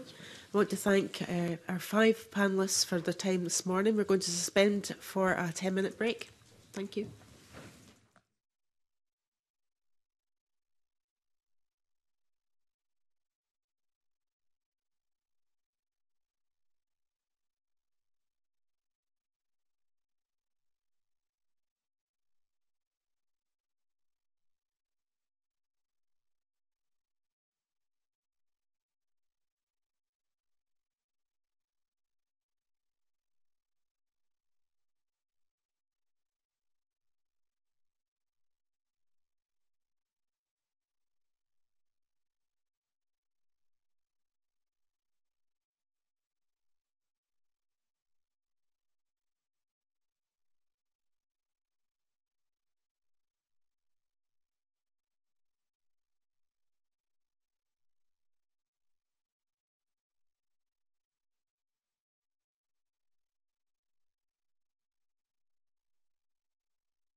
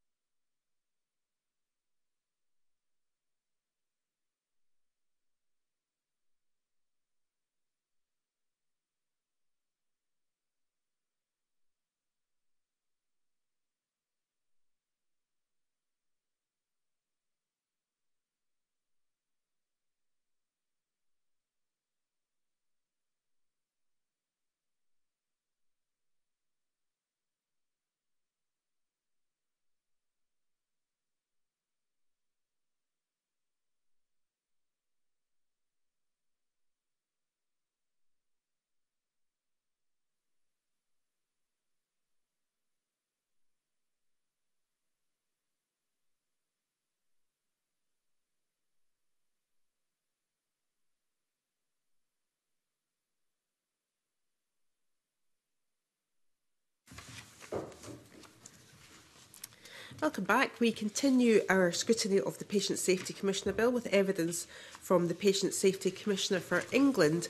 So I welcome uh, eh, Dr Henrietta Hughes to the committee, who is the Patient Safety for, uh, Commissioner for England, and uh, eh, Dr Gary Duncan, Chief of Staff to the Commissioner. And I'm going to hand over. Um, first of all, I want to thank you for, for, for, for coming at relatively short notice because we weren't originally going to take evidence from you. But following um, discussion from, from uh, the patient groups, we, we felt it was, it was maybe important to, to hear how things were going in England in the first 100 days. So I'm going to hand over to my colleague Tess White to start questions. Great, thank you. Thank you, Dr Henrietta. Um, could you just share with us initially you, your views of your first 100 days. Any, any surprises, anything you'd like to, um, you think would be helpful to us? Yeah, absolutely. I'd first of all like to say thank you so much for inviting us to come and give evidence. Really appreciate it. And I think that working in partnership and learning from each other is going to be the way forward on this. Um, so my first 100 days, I started at a time of quite a lot of political turmoil, and I think that was really important um, in terms of being able to make the right connections and also um, uh, the, the, the uh, time when it was a lot of uh, distraction was going on. And I don't think we can underestimate the, uh, the task of setting up something entirely from scratch. Um, the first time that the Department of Health and Social Care in England has had an independent commissioner role. And so we've been really learning together um, with the officials um, the best way to do this and um, setting up some of the structures, um, recruiting staff, procuring a website, um, finding office space, you know, some really basic things which I think have taken quite a you know long time to establish and that's partly because of the, some of the changes that were happening at the time that I was appointed into the role um but I have to say that I think it's all been done with a huge amount of work from everyone involved, a huge amount of professionalism, and really excellent uh, partnership working so that we're looking for the win-win, looking for the solutions, and trying to get things up and running as quickly as possible to meet the needs of patients who've had such a terrible experience leading to the Cumberledge review itself. And and just in terms of any difficulties, any hurdles that you faced that you didn't envisage? Uh, so if I just take them in order, I think getting the um, the appropriate domain for the for our website and for our email, so having a .org.uk rather than a .gov.uk, that was a, a really important one from the beginning. Um, I think that inevitably it takes time to do everything and i'm probably a bit impatient for change so uh, setting up the recruitment of staff um, as I said, we haven't got an office yet, but we're working on getting a lease signed.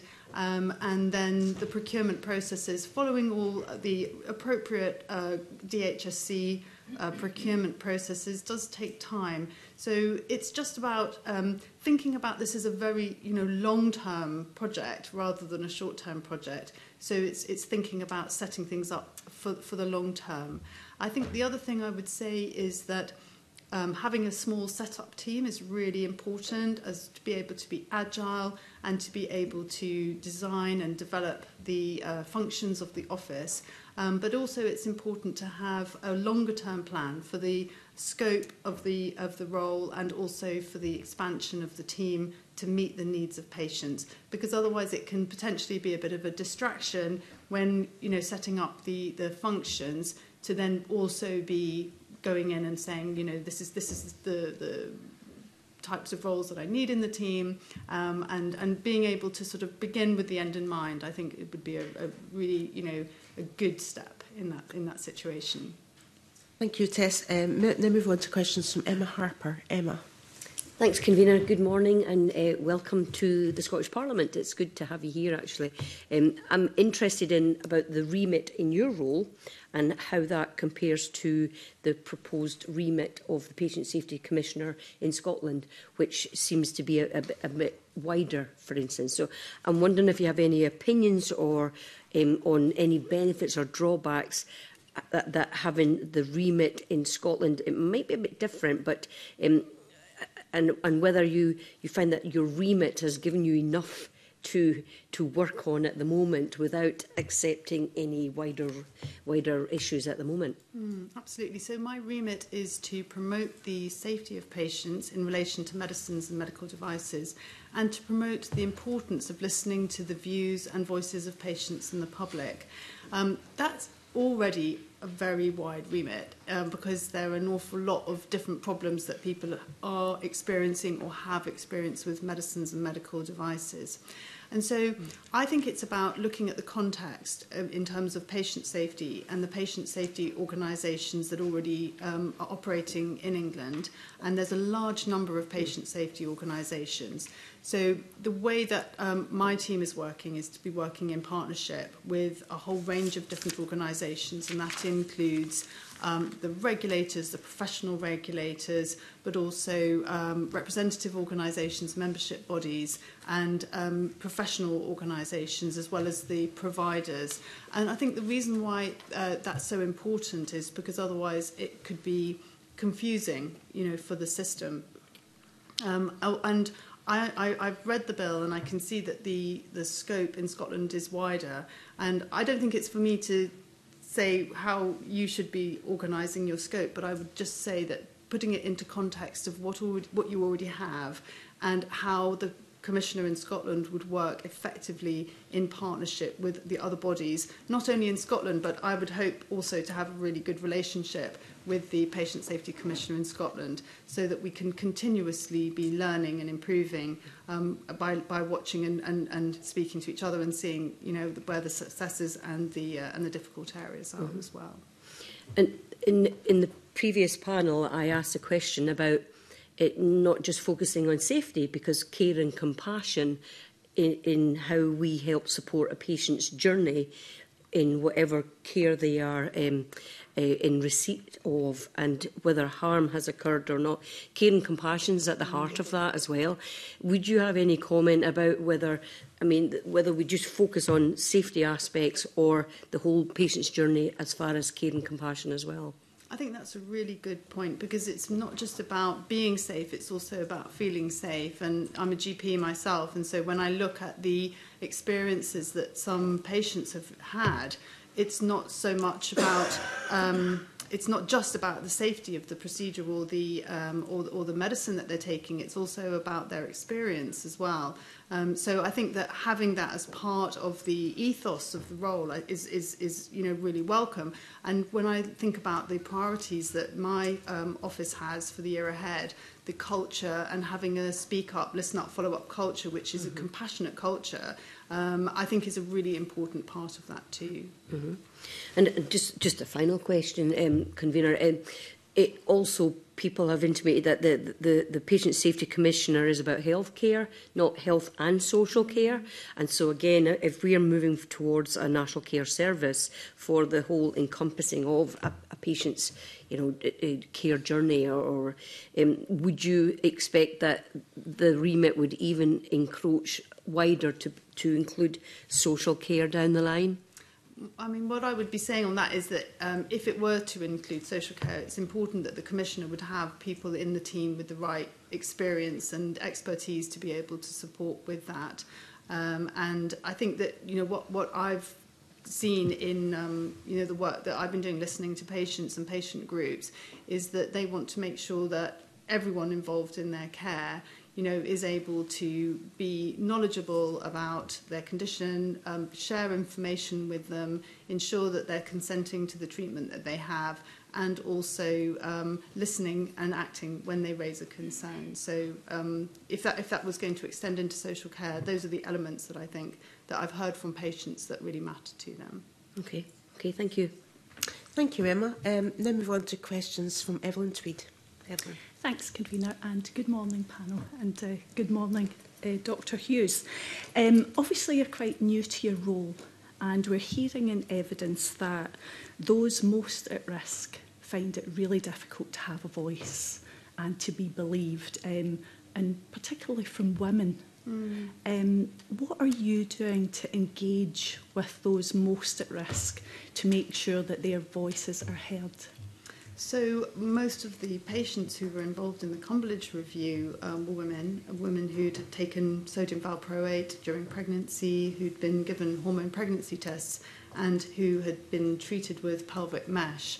Um, and I've been meeting a wide range of patients, not only those who were involved in the Combridge review, but others as well. But I absolutely agree that it's the voices of those that are seldom heard which we need to really focus on, because if we get it right, for those that are most vulnerable. We get it better for everybody.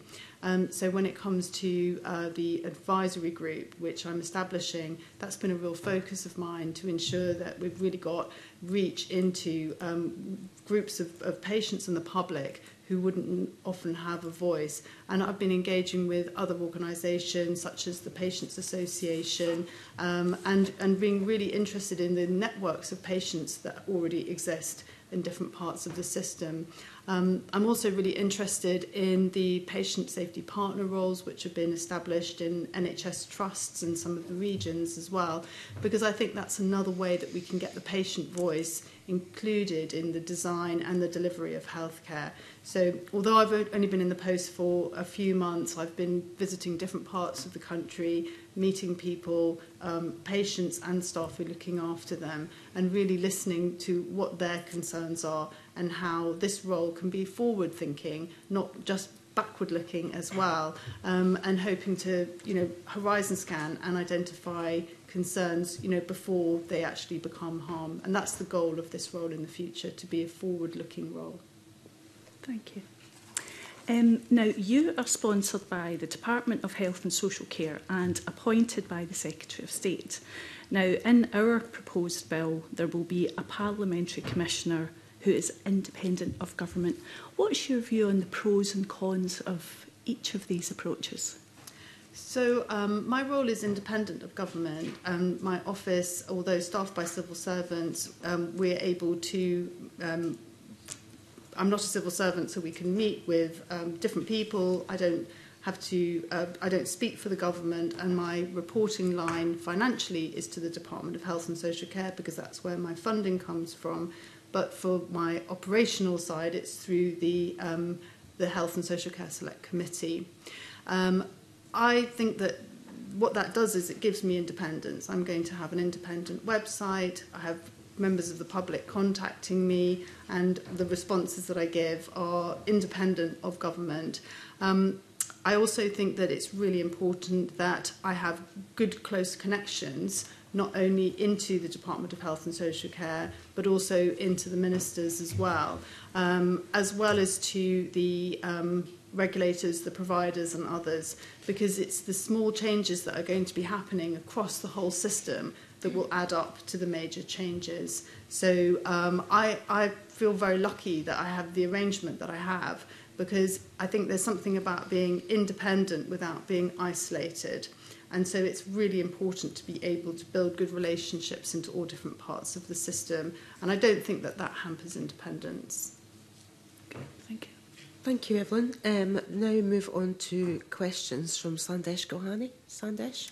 Thank you, and thank you for, for uh, coming uh, to the Scottish Parliament. Uh, uh my question is about individual cases, and I know that you are not responsible for individual cases, but does that lead to frustration with people who are contacting you?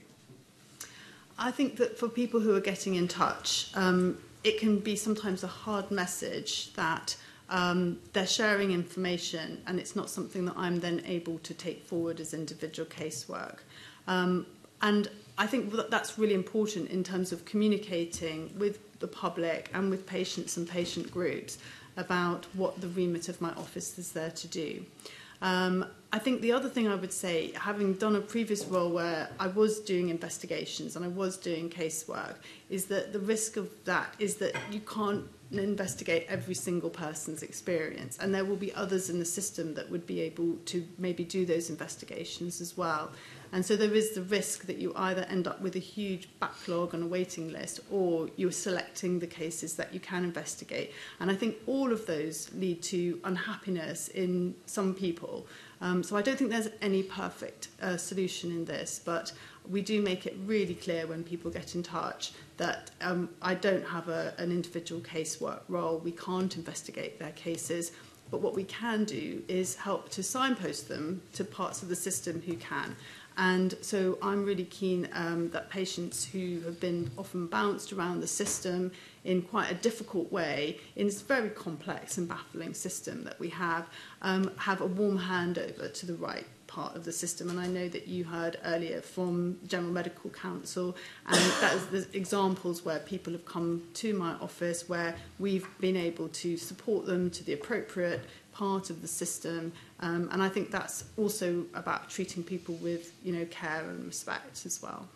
So just on to, I mean, you, you're not able to take on individual cases, but I go back to this this idea of a golden thread. So if you have multiple people coming to you from different, say, parts of the country mm -hmm. or mm-hmm. from mm-hmm. different areas, giving you a similar thread, how will you unfortunately miss it because you give them the I'm sorry I can't do that or do you log the information and see if if there is that golden thread that you're able to pick up so we're in early days um but we have been logging information uh, with the themes that people are contacting us about and I've been able to speak to senior officials for example at the MHRA about particular concerns. And we've often had patient groups contacting us about multiple cases that have got similarities to them. So um, what I would say is that it's not necessarily going to be you know, for my office to look into these details because there are other organisations who do have that remit. Um, and I think from, from my perspective, it's about us understanding a really good understanding of the health system so that it's really clear as to where would be the appropriate part of the system that would be investigating those aspects. So if it's about professional um, uh, practice, it would be the professional regulators. If it's about concerns about a particular device or a particular medicine, it would be to the MHRA. And if there were broader patient safety themes, then that would go to the National Director of Patient Safety.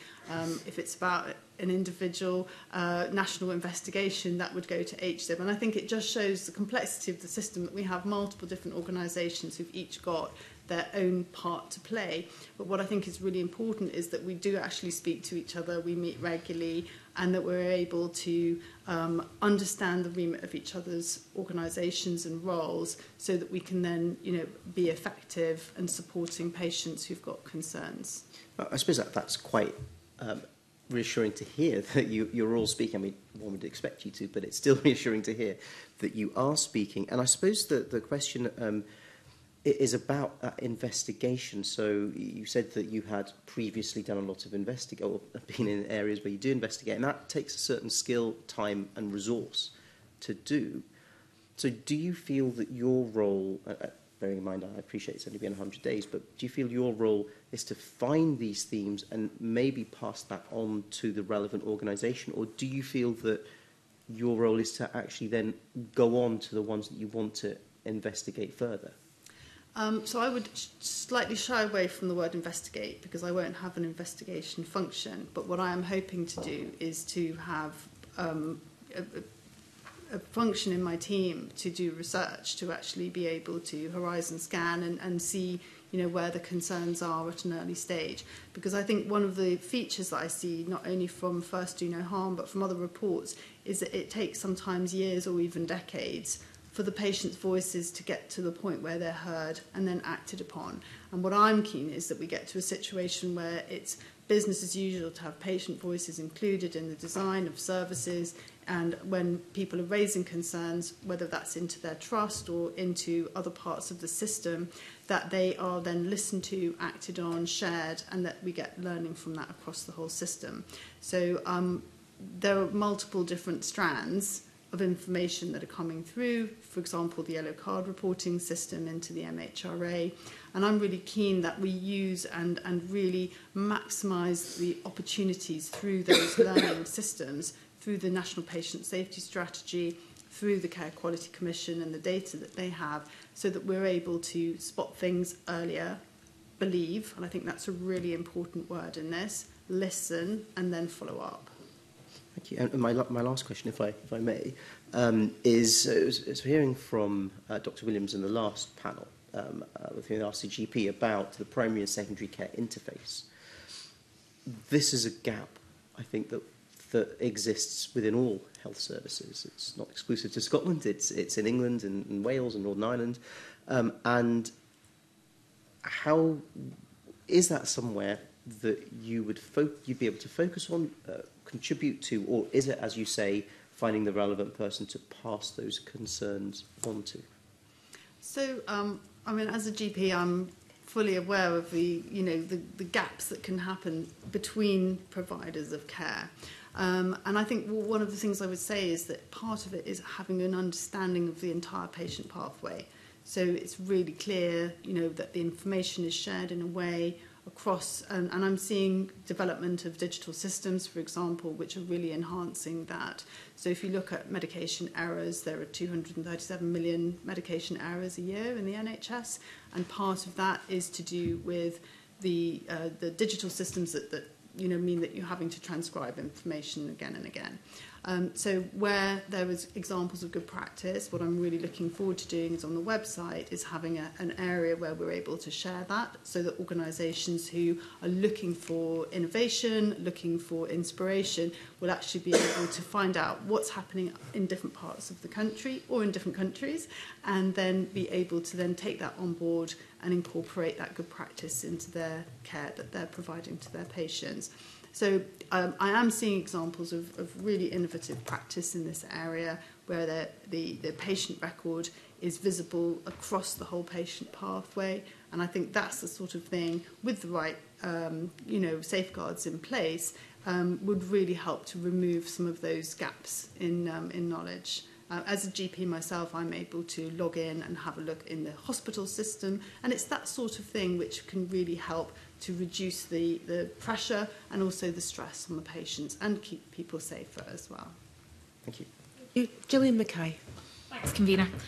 You mentioned um, communication earlier on, and I think there's an interesting line that you may have already have had to walk or may, um, may in the future between where people come forward with an individual case that they believe may have indications of, of wider patient safety issues, but whatever investigative body believes believes it doesn't and those patient groups that you were talking about that do have multiple stories happening over and over and again in mm. different places how do you see your office and yourself as the the commissioner communicating to those people who have often been traumatized as a result of their as a result of their treatment how do you see communicating where that line is between individual cases that have an individual feeling and individual cases that may have um, wider, wider implications for patient safety?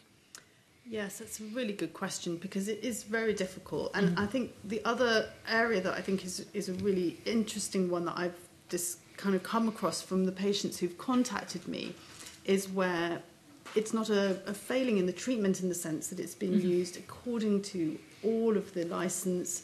Um, mm-hmm. It's not there's no recklessness. The mm. indication was correct, but it's a known and recognised side effect, mm-hmm. which can be really catastrophic. Um, so I think this is about having those good relationships into the regulators, understanding what's already been known, what mm-hmm. steps have already been taken, but also to to open the mindsets so that mm-hmm. we're able to look at things in a way which is really patient centred because um, I think that the more that we're able to get the patient voice into all the different aspects of care, whether that's in terms of um, the provision, whether that's in terms of the regulation, um, and also you know the, all, all of the areas. And what I've, what I've been really pleased about is that when I've been speaking to officials in different organisations and healthcare leaders and asking you know how they're listening to patients, people have been really open to the idea of incorporating patient voice.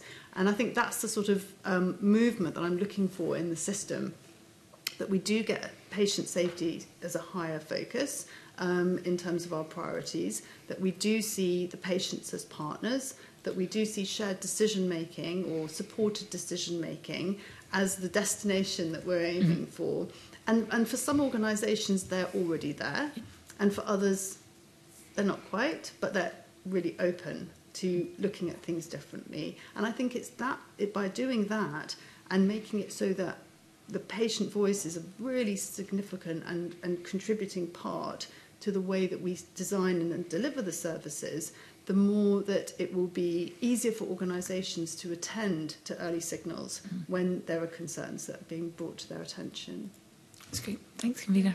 Emma, you wanted to ask a quick question? Yeah, thank you, Convener. It's just a quick question. I'm looking at your first 100 days report and there's a couple of issues have been raised about concerns about electroconvulsive therapy and also COVID vaccine concerns. And I know that like I'm the co-convener of the mental health cross-party group. And so that's something the ECT thing has come up with us as well. And also COVID, COVID vaccine concerns. There's a lot of fake news out there uh, so, um, will your role help combat some of the issues that really need to address evidence and and combat fake news, for instance? So I, I think that um, the word believe, I think, is a really important word in this because people have concerns and need to be listened to. Um, but at the same time, we've got to be clear about where the evidence base is. Um, but people can still have concerns. So, for example, in terms of the COVID vaccine damage, the concerns that were brought to my attention were about the redress system and about delays and about you know problems that people had encountered with that. So I think it's really important to keep a really open mind so that it's it's it's um, possible to hear what people's concerns are and to ensure that people get the opportunity to express you know, what it is that, that they're looking for help with. Um, and I think that's where also the value of working with parliamentarians is in this, because people will come to their um, their MP or to their APPG, and then it's when there's a body of patients who mm-hmm. have a particular concern rather than looking at an individual one. And similarly, when it came to electroconvulsive therapy, it was around the regulation of this, and so I'm, I'm of the view that I don't want to be um, in a situation where I'm missing what is the next pelvic mesh mm. or the next sodium valproate or the next primidos. Um, and that's about and, and, and that's about also um, within my team having you know supportive and challenging conversations so that we're continuously keeping a really open mindset because when you look back in the history of you know, where patients haven't been listened to. Um, there are so many examples, not just in terms of medicines and medical devices, but going back over the decades. And so it, it's, um, I was going to say easy to shut people down, but actually the hard thing is to keep a really open mindset. And that's where the position that I'm in. Mm-hmm. Just, uh, earlier, you talked about the value of being independent and your independence and, and the fact that you're talking about listening to people and hearing concerns, um, are you already finding that people are um, uh, just really in, engaged in and trusting the role that has been created for a patient safety commissioner for England? I mean, my experience is that the patients that I've been speaking to, and I've met a lot of patients and been listening hard to their experiences, is that they have been let down so badly by different parts of the system that to to build trust in a brand new role, you know, is it, it is a really I would say quite a difficult thing to do. And I've been overwhelmed by the incredible uh, generosity of the patients who have been helping me, providing information, wanting to meet, share their experiences, um, and you know really looking for that listening and supportive role. I think what I would say is that the volume of people who've been contacting us is out with the size of the team that I have to be able to then follow up as much as we would like to be doing to support all the different patients and patient groups who've been getting in touch. And that's really tough because when somebody's been to lots of different organisations already and they've been told nothing to see here, and then they come to the Patient Safety Commissioner and we're saying, we would love to help, but we're such a small team, we're not able to do it. To be able to still maintain a, the good relationship with those patients, I think, is really challenging. And it's only because of the incredible kind of generosity that I could describe of the patients who've been contacting us that, you know, we've been able to do that. And i I'm just, you know, keen that we're able to help many more patients and patient groups um, I'm looking forward over the next year to going out and doing public engagement events where we can meet even a wider group. Um, but I do also think that there are a lot of concerns that have been, you know, sort of put on ice over the years, which are still unresolved, and they're coming to, to me and my office about mm. that. Okay, thank you.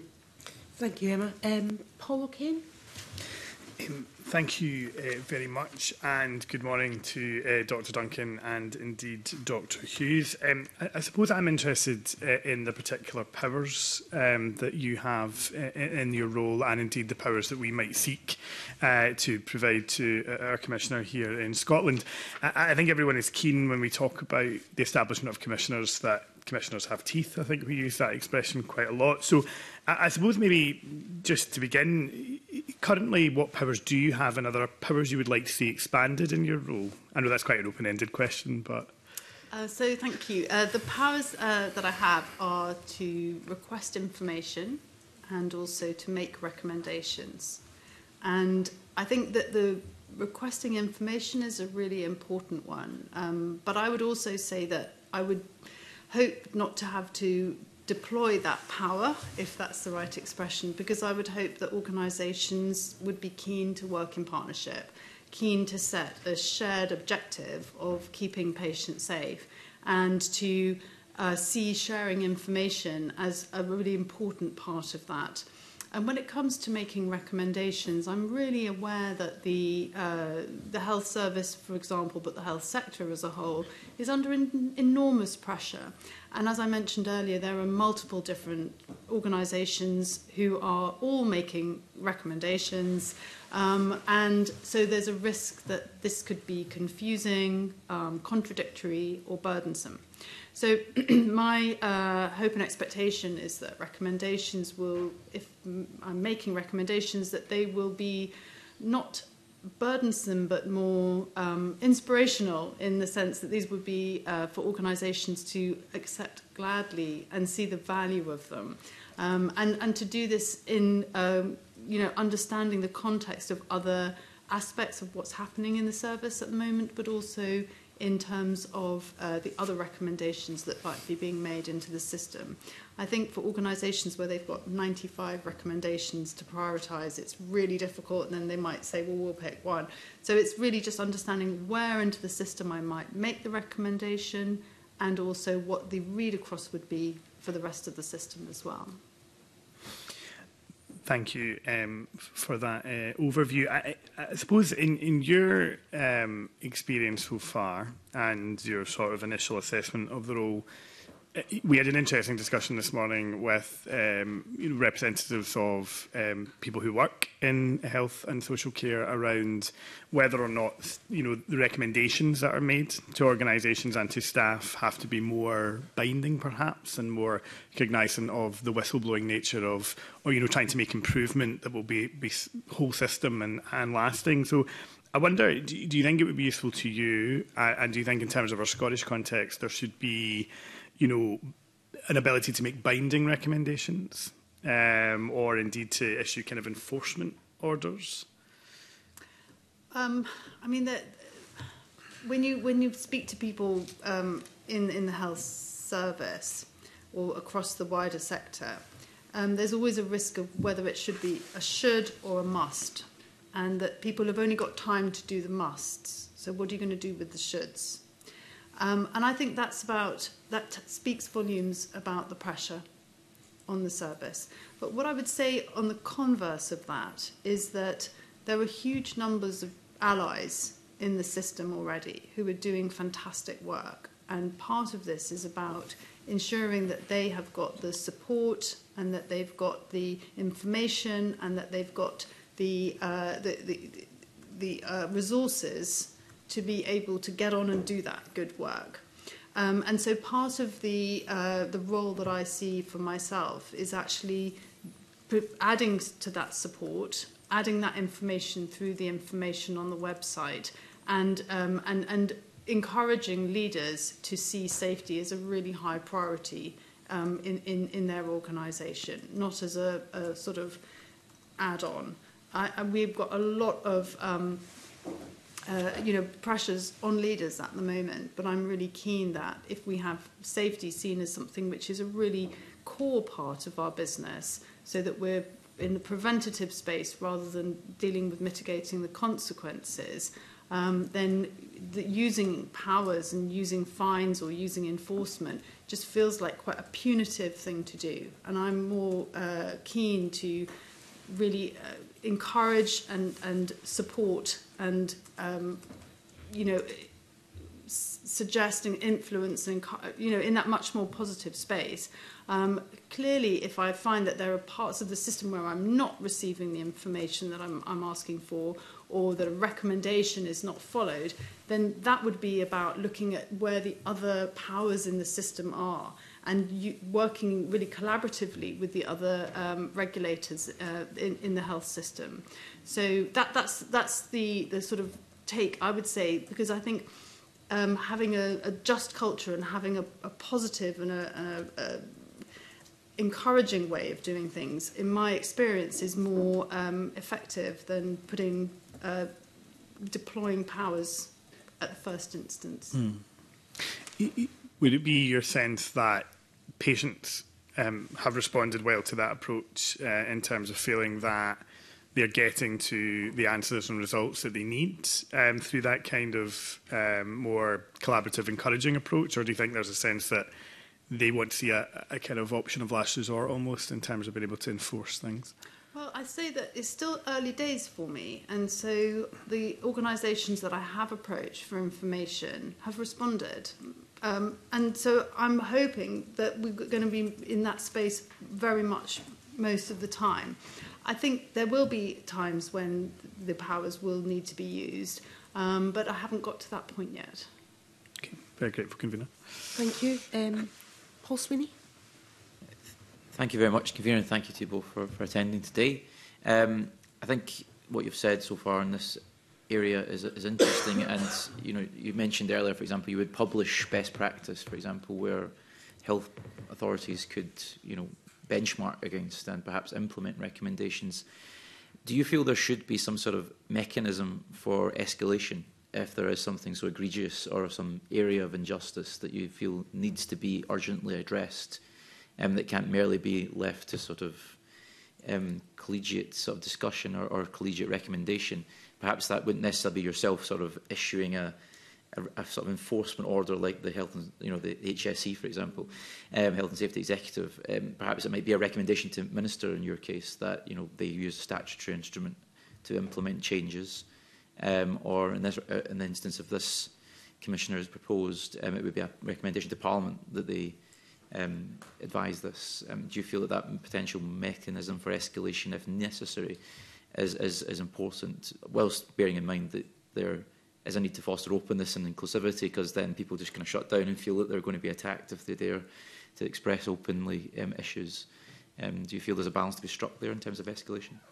Absolutely, and there is, um, as I said, there are existing powers that already exist in the system. And so there's the early uh, emerging concerns protocol, which is where the regulators can get together and, um, you know, share their understanding of a particular concern. Um, but there's also the opportunity to encourage other organisations to use the powers that they have and the instruments that they have as well. Um, and I think that's where the role of the commissioner is really important because it's about having a deep understanding of the powers that exist in the system already and then encouraging those organisations to, to move forward with that. Um, as I said, it's still quite early days, so hmm it's it's hard to say whether if I was going to get a knockback on um, encouraging another organisation to use an instrument that they had, um, where the next step of escalation would be. But my reporting line is into the um, the select committee, and so I think that's a really important aspect of mm. this as well. And then also I have the annual report, which is where I'm able to you know share every, all the detail of that as well. So I, I think that there's um, there's, there's multiple paths that already exist in the system. It's partly about understanding the powers that others have, but also for others to understand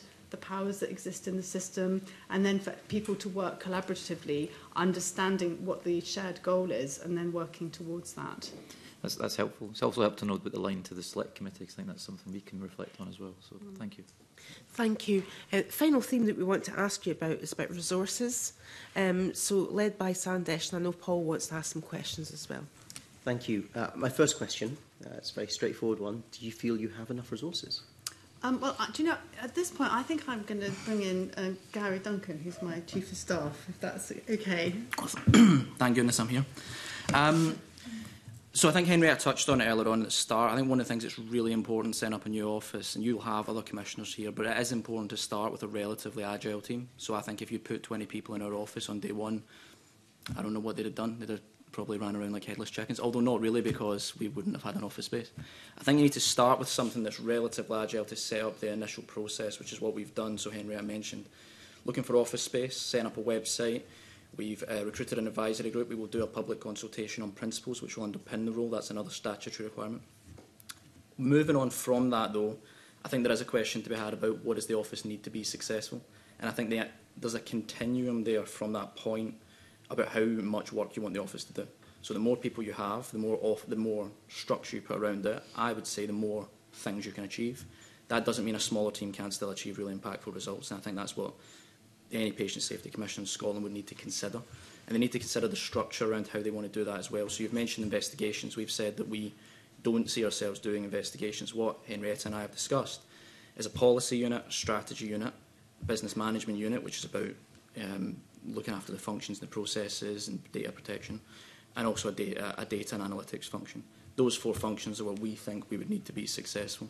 The size of those, is how will I manage to assess whether or not we're able to take on all the tasks we're being asked or all the issues that are being raised by patients.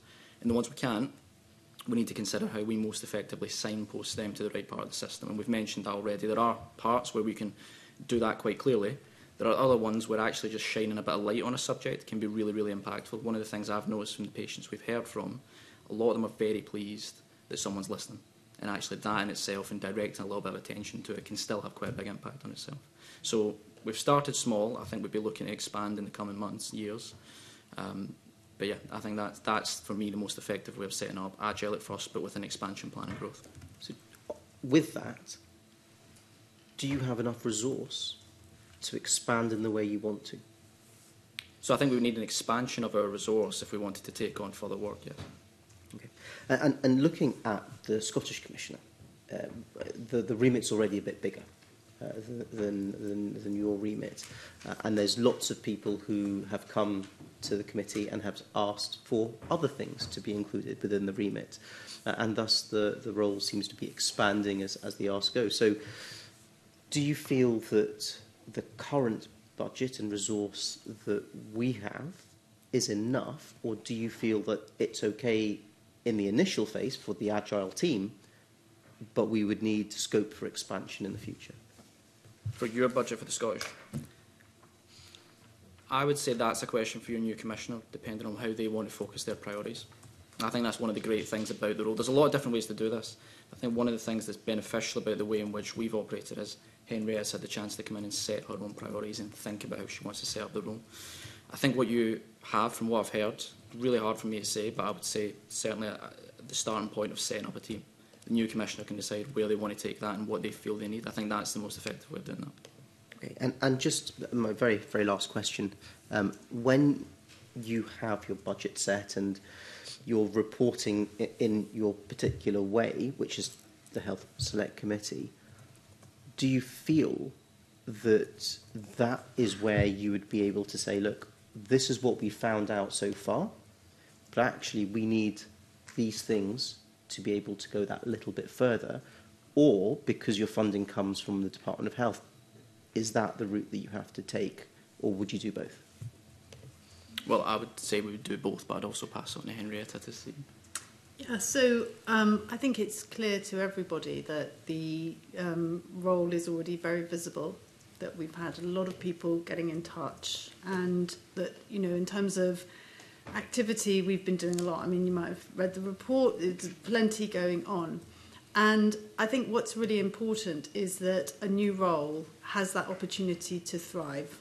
And I'm not just talking about the person, the people in the team. It's about the concept of the system welcoming a new way of doing things, a better way, which includes patients, and hopes to get us away from that always looking back to the problems that have happened in the past, but more looking forward so that we can get into that preventative space.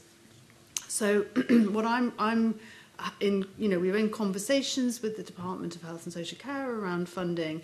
They're really aware of what it is that we're asking for, and so it's really important that you know the the the that when you know I'm raising to them what the needs are that I'm hearing from patients that that is then listened to and we get uh, that expansion that Gary was describing. But I think it's also really important in that the last um, select committee hearing on First Do No Harm, um, the witnesses were also very clear to the Health and Social Care Committee that the resources that exist in the setup phase of uh, the Commissioner's office um, are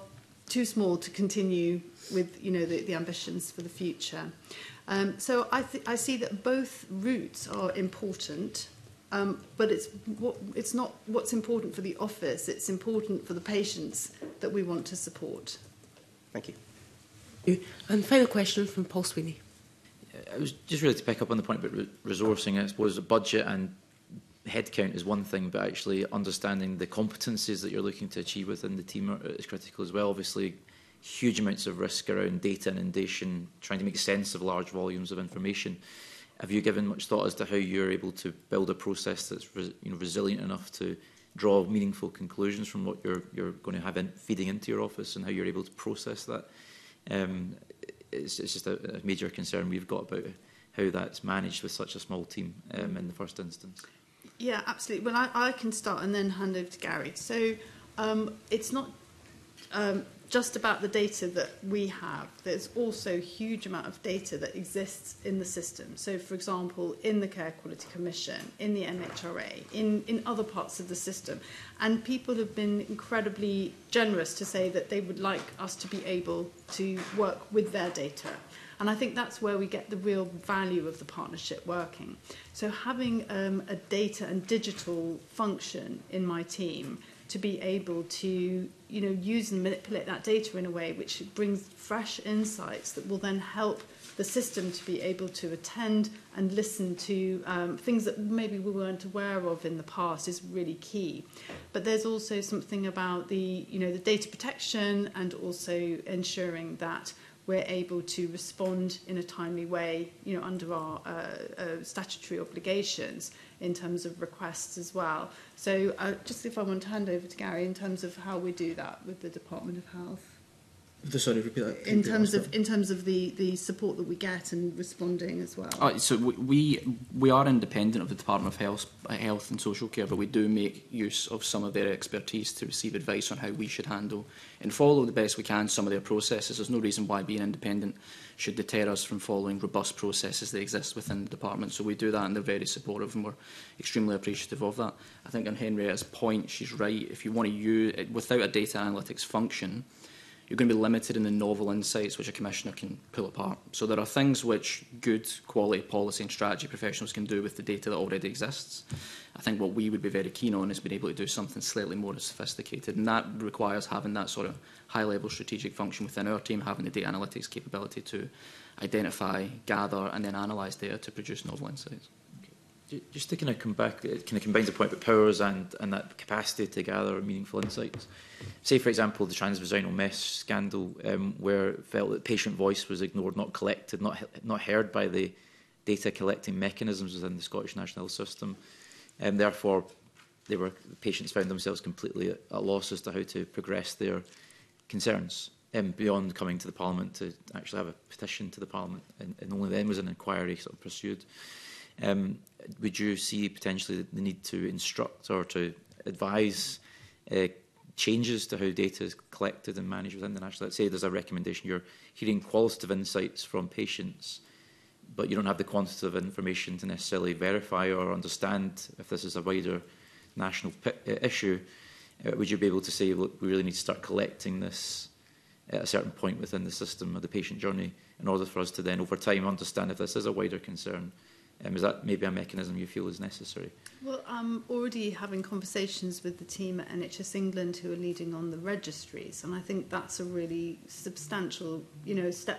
forward, um, as recommended in the uh, review First Do No Harm. Um, but it's not just about saying what device is going into which patient on which day. It's also about establishing um, patient uh, uh, outcome and experience uh, measures as well. And, and they take time to develop. So I think it's about uh, the culture shift that we're looking for, which is to say we're as interested in what patients are saying as other types of evidence that already exist in the mm. system. And if we're not getting the feedback and we're not, we're not gathering that and we're not um, bringing that into the way that we're looking at an outcome of a procedure – or of a, of a, a treatment, then we're missing a really substantial part of that evidence. So I don't think there's quick fixes around that, but I think a really substantial part of this is about a mindset shift and about how, as a health system, we're able to incorporate information that's coming from incident data, from complaints information, from um, other types of feedback, but also that, you know, in terms of research, that there are really robust ways of uh, measuring and assessing the patient reported outcome and experience measures as well.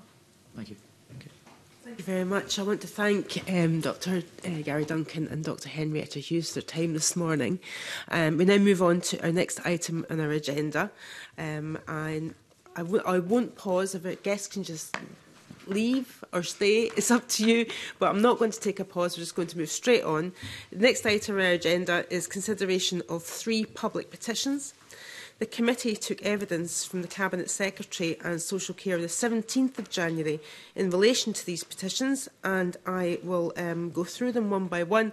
Members, um, let, let me know if you want to come in and make comment in any of the petitions. So let's take the first one. That is PE 01 845, which was um, petitioning for an agency to advocate for the healthcare needs of rural Scotland. Um, so let's let's take that one first.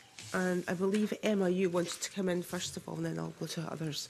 Thanks. Thanks very much, convener. Um, I am well aware of this petition. I was at Petitions Committee when it was presented as well, when the petitioners um, um, sat in front of Petitions Committee, and uh, I know there are members in the room also that were there. So I, I, I know the history behind it, and I'm keen that um, we don't lose sight of what rural health and social care needs are and having the voice of people. Uh, for instance, in this example um, that I have in front of me is the people in Stranraer You know, one of the key issues that the petitioner has been trying to raise for 20 years is the the Dumfries NHS in Fries and Galloway is part of the South East Cancer Network. That means patients in the southwest of Scotland, which isn't in the east of Scotland, end up having um, cancer treatment in Edinburgh, for instance, instead of the closest cancer centre for radiotherapy, which would be Glasgow. So it's either just up the road to Glasgow or this distance travelled, um, which is pretty hefty if you're undergoing radiotherapy or other cancer treatment. So, so for 20 years, my understanding is that Dr. Gordon Baird, who's a, a, a retired GP but former chief medical officer um, at the Galloway Community Hospital, he's been trying to look at ways where we can have the voice of the people who live in remote and rural parts of Scotland, but particularly Dumfries and Galway, for instance, but it has become wider in looking at the other petitions with Keith Ness as well. Um, it's how to support what is best for the patients, and it isn't just about, you know, you'll get your treatment uh, where we tell you, it's about giving people the best opportunity to have the best care um, where they choose, but also to help reduce issues of um, travel, for instance. Um, so that's, that's one aspect of it. And currently, people are means tested for their travel, whereas in other parts of Scotland they're not. They get their care um, without having to cough up from their own finances. Now, that's an issue when it comes to health inequalities uh, as well. So, means testing people for their care uh, sh shouldn't be happening. And then there's other issues regarding maternity services, um, and I know there's a review happening right now um, of the midwifery-led service in in Galloway because babies haven't been born in Stranraer for four years. So that's similar to Dr Grace issue, which has been raised in Parliament and Chamber on a number of occasions. So my concerns are that um, for 20 years there's been very little progress made to hear the voices of the people who live remote and rurally in NHS and Fries and Galloway, but also wider, wider areas. And I'm concerned that we are not able to, I suppose, I'm concerned that if we if we don't keep the petition open, if we don't hear from the witnesses um, in this committee, that we might lose sight of what the real issues are for people in remote and rural areas. But with regard to the substance of the, of the petition, if I can press you about an agency, because it is very targeted, and that's effectively what we need to decide on whether this petition could take issue um, evidence on the idea of an agency, or are you are you talking about taking evidence on the wider aspects that are surrounding the call for the agency?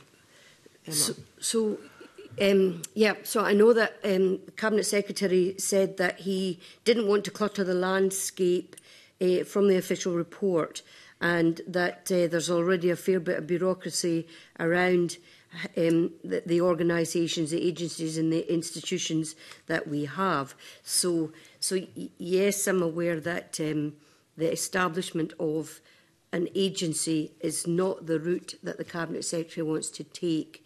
So I suppose the, the, the, the big issue then is how do we get the rural voices um, heard um, either in in we've raised it in chamber, we've raised it in in debates and questions, but how do we get the rural voices heard unless we continue to pursue um,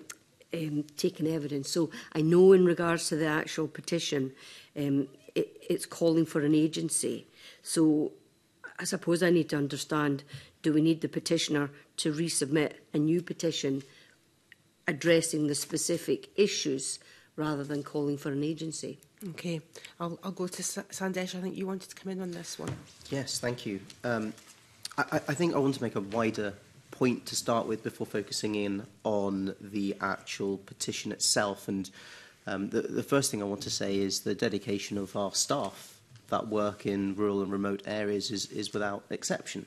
Uh, and they are extremely dedicated and work very hard. And despite their hard work, I feel that our patients who live in remote and rural areas get a far worse service than those who live in urban communities do. Uh, and that is due to a number of reasons, and uh, Emma Harper has certainly spoken uh, about a few of them, about the travel and about um, uh, not having the expertise. Um, we also know that there is a lack of staff in rural and remote areas in comparison to those in, in, rural, in, in urban areas. Um, we're looking at nurses, we're looking at doctors and GPs, and retention is also poor in, those areas. Um, and working, having done a GP shift in Dumfries and Galloway, you know, one of the other issues is travel. Looking at how I drove to my shift, the fact the road was flooded, uh, and at one point I thought I was genuinely going to drown. Admittedly, there was a storm, um, but that's what people face, patients face day in and day out in rural areas, and, and what we offer is not good enough. Um, so I would advocate us looking uh, generally at an inquiry into, into rural health, which incorporates a lot of uh, what we've spoken about and a lot of what our petitions come with. Specifically on this petition, I'm not sure a specific agency is the way forwards, but I do think that that needs to be folded into uh, our potential work uh, going forwards on rural healthcare. Okay. Does anyone else want to speak in this, poll? Thank you, convener. Um, I recall, uh, as, as, a former member of the Public Petitions Committee, sitting on the evidence session on the 8th of June last year, in, in which um, Dr Baird and others, uh, was a combination of four relevant petitions um, covering this area. And I think it very quickly developed into a much more effective and quality discussion, not just simply honing in on this idea of an agency, it was a broader agency of patients to advocate and for clinicians to advocate on their behalf, and particularly focused on the power imbalance between health boards and other stakeholders in the system. So I think in that respect, the petition does remain relevant.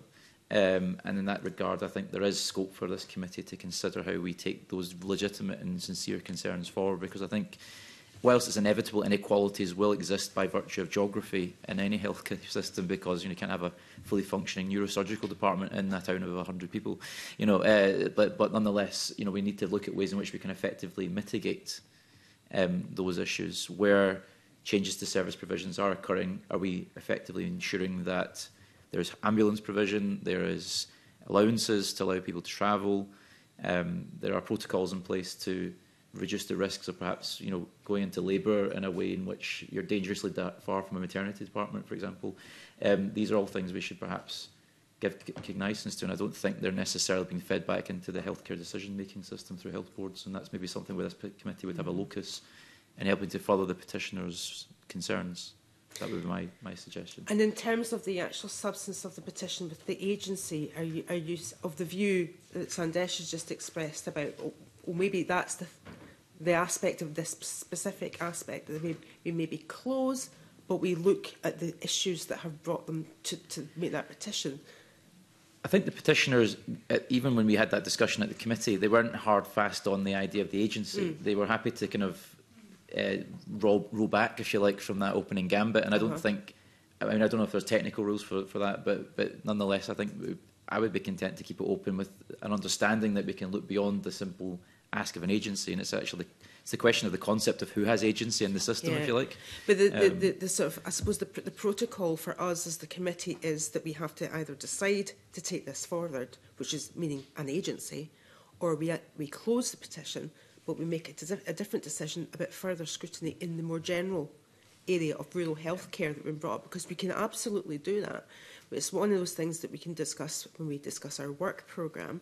There's also other things to, to, to with regards to Dumfries and Galloway. I believe that they're one of the health boards that will be coming in to see us in due course as well as part of our general scrutiny of health boards. So a lot of the issues, for example, that Emma's just raised about you know, some, some of the issues that, that, that that area, that health board area, is, is facing and some of the decisions that have been made there can be put directly to them as well. So, um, but in terms of the protocols with petitions, it's either we take further evidence on the idea of the agency or we close it. But that doesn't, that doesn't preclude the petitioners from coming back with a new petition based on maybe something that we have mm. found out as a result of the further work and scrutiny that we do as part of an inquiry or whatever that may be. Kevin, my, my view would be that we're not bound to the, the ask of the petitioner specifically, and it, it would give us a useful basis in which to roll it forward. You know, we don't, we could retreat, you know, we don't have to, it's not a kind of, my view, it's not a binary thing that we have to agree agency or no agency. Mm. We can certainly but take protocol wise it is because we either keep it open or we close it. And if we keep it open, we have to go forward on the basis of what the petition's actually asked for. So, but be, if we if we if we close it, that doesn't mean to say we forget everything that was ever in that petition. We take the learnings of the petition, we take the you know the, the evidence as, as part of, of, of maybe a wider inquiry and roll it into that so we're not dismissing it. We're not dismissing the mm. things that people have said. Sandesh. Uh, I just thought I'd want to make it clear that I would like to take evidence from Dr. Baird, um, but as part of that wider... It's part of a wider yeah. inquiry. Uh -huh.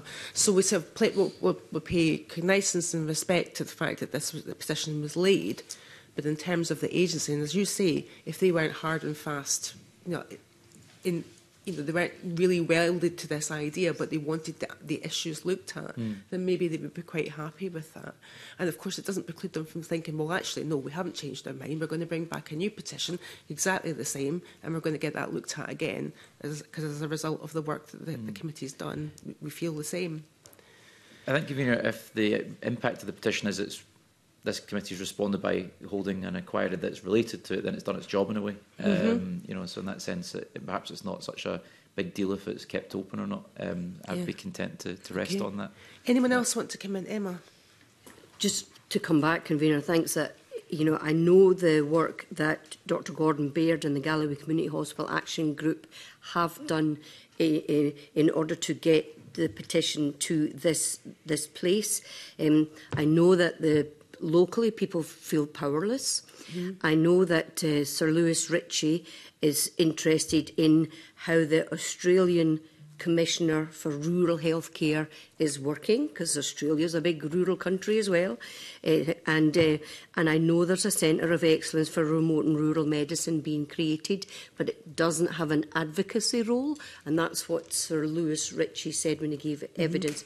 It, it would not be uh, providing advocacy. And I know this agency isn't about individual casework being picked up. So that that's absolutely not what Dr Gordon Baird was after when he was looking for an agency to be created.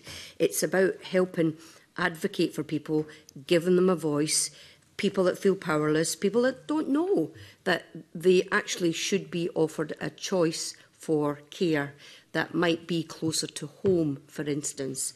Um, and that's part of the real challenges. Um, I know that NHS in Fraser and Galloway have committed to addressing cancer care pathways, and then COVID came along. Mm -hmm. So when NHS and Fraser and Galloway come in front of us, I think there will need to be specific questions around where are they with altering cancer pathways? What steps are they taking? It's not just about addressing them all overnight. That I know there are real challenges, and you know everybody knows that. I was a healthcare, you know, clinician as well. So, so I think that that I'm just really keen to make sure that if whatever pathway we take forward, that Dr. Gordon Baird is um, permitted to or invited to come and give evidence about the challenges for remote and rural healthcare and advocacy yeah. for the yeah. patients. I think that's a really good point. As you say, there's a couple of reviews ongoing in, in the health board area as well. Does anyone else want to come in on this petition? Gillian? Sorry, convener, not specifically on this petition, but oh, maybe on the. so on I'm the going to move on to, to the next one, and then we'll, well, actually, maybe maybe not to confuse things. Maybe we actually take a decision on this petition because there's too many words and letter, letters and numbers, and we'll all get confused. So in terms of the, the PE01845, Agency to Advocate for the Healthcare Needs of Rural Scotland, can I have uh, maybe a show of hands of those that would want to close the petition with the proviso that we maybe look into doing this wider uh, review? Because I think that seems to be something. So we maybe have a, a, a show of hands.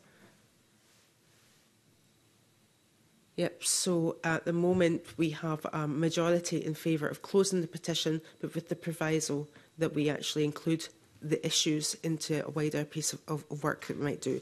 Right, let's move on to, so we've decided to close that petition, that's PEO 1845. The next petition in front of us is PE 0189 and it is on find solutions to recruitment and training challenges for rural healthcare in Scotland. So again, a very similar theme. And Gillian, I know that you want to speak on this. I think again, convener, this is one that we should be looking at as part of a as potentially part of a wider wider piece of work. The petition is obviously quite broad and covers quite a number of areas. And I think in the session we had with the cabinet secretary, we maybe um, explored why some of these reasons are not purely healthcare recruitment um, issues and why they are issues to do with life in rural environments and in the first place as well. So I think if we were to incorporate this into a wider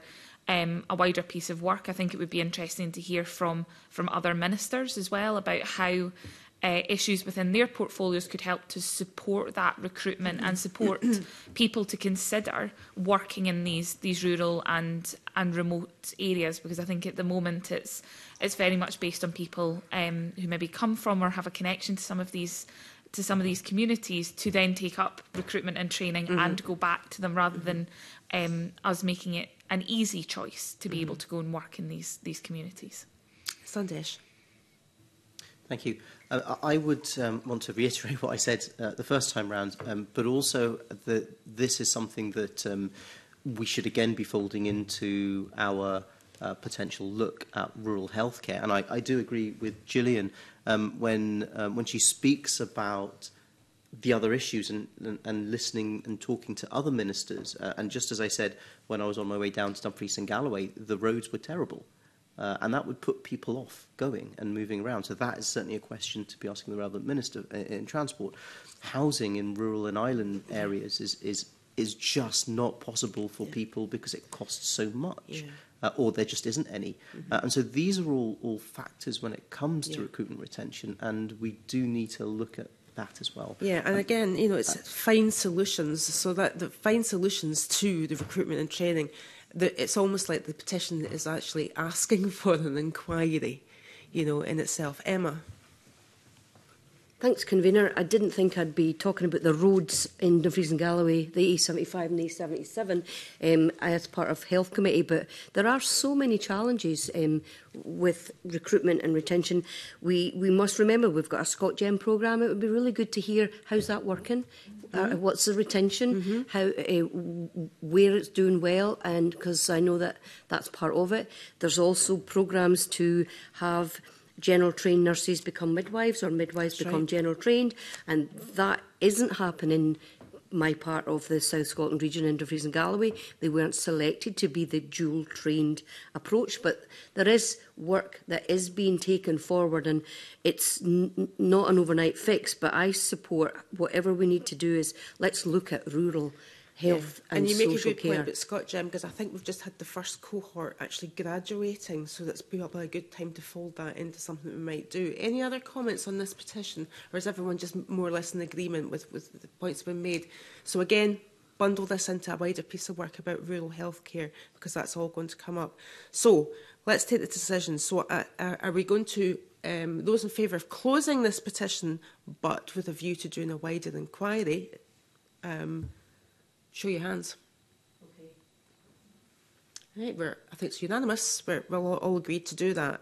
Um, right, the final petition in front of us um, is PE01924, and that's complete an emergency in-depth review of women's health services in Caithness and Sutherland. And I know that Tess wanted to speak on this, and I know Gillian does as well. Tess.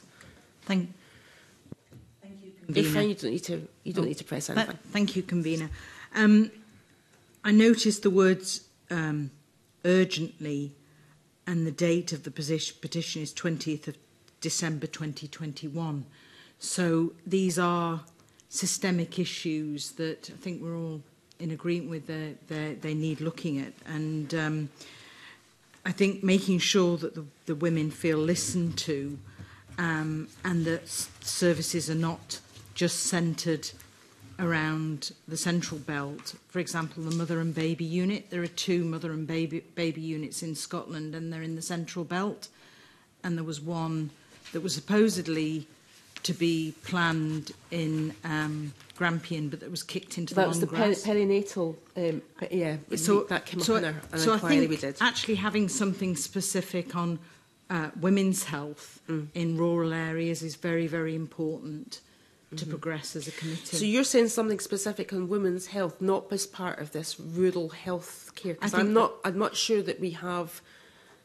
the scope and the capacity in the committee to do two separate rural healthcare, I think it would have to be one larger piece of work that would encompass that. If, if I can just make two points, convener. So firstly, we've got now the Women's Health Champion. So mm -hmm. that's a major step forward, which wasn't factored in when the petition came forward. So mm -hmm. it'd be mm-hmm. interesting to find out what the women's uh, health champion um, mm -hmm. is uh, thoughts on on this.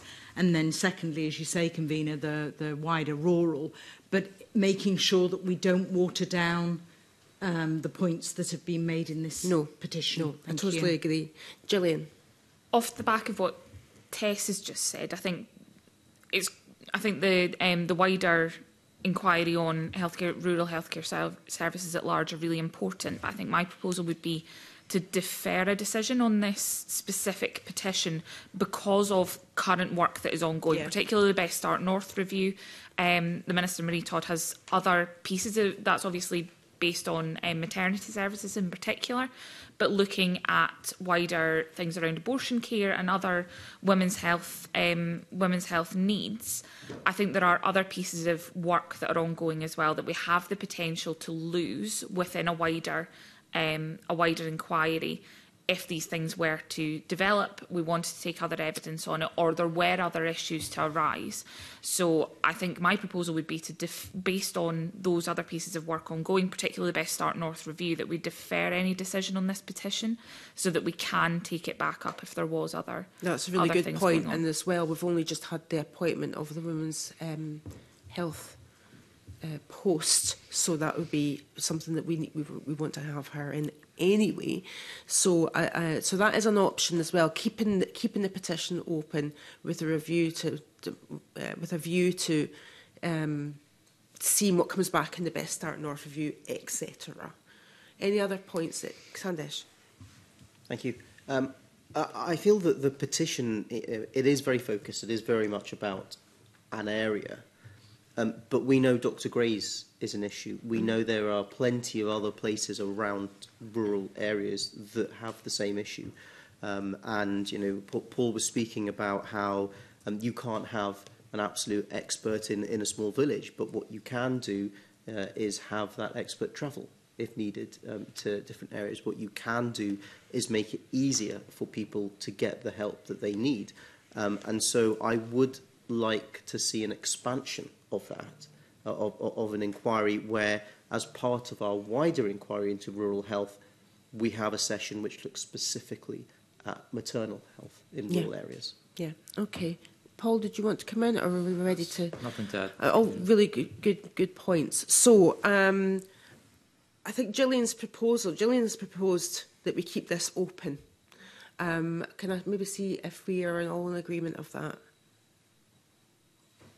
we are. We're all in agreement. We're going to defer a decision on this petition until we've found out some, some more about the ongoing work. So that petition, that's PE01924, is going to be kept open.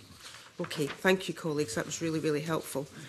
So we, uh, the last item on our agenda is uh, to consideration of two negative instruments. The Delegated Powers and Law Reform Committee considered these instruments at its meeting on the 7th of February 2023 and made no recommendations in relation to either instrument. The first instrument is the National Assistance Assessment of Resources Amendment Scotland Regulations 2023.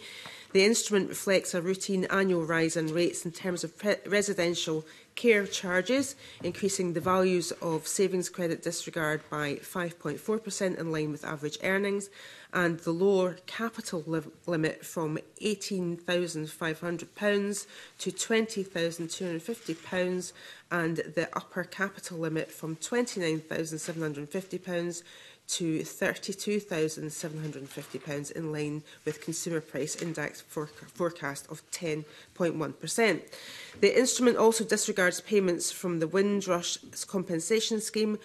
from financial assessments for individuals living in residential care and no motion to annul has been received in relation to this instrument. Do any members have any comments to make?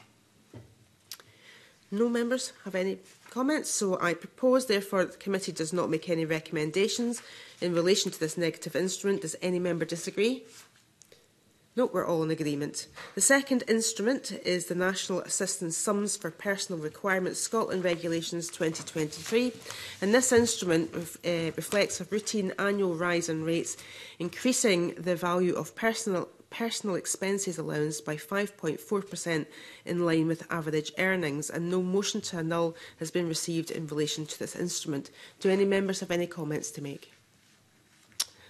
No comments to be made, so I propose therefore that the committee does not make any recommendations in relation to this negative instrument. Does any member disagree? No, we're all agreed. Thank you. So our next meeting, uh, our next two meetings are going to be entirely in private, where we're going to consider our draft uh, stage one report for the National Care Service Scotland Bill, and that concludes the public part of our meeting today. Thank you.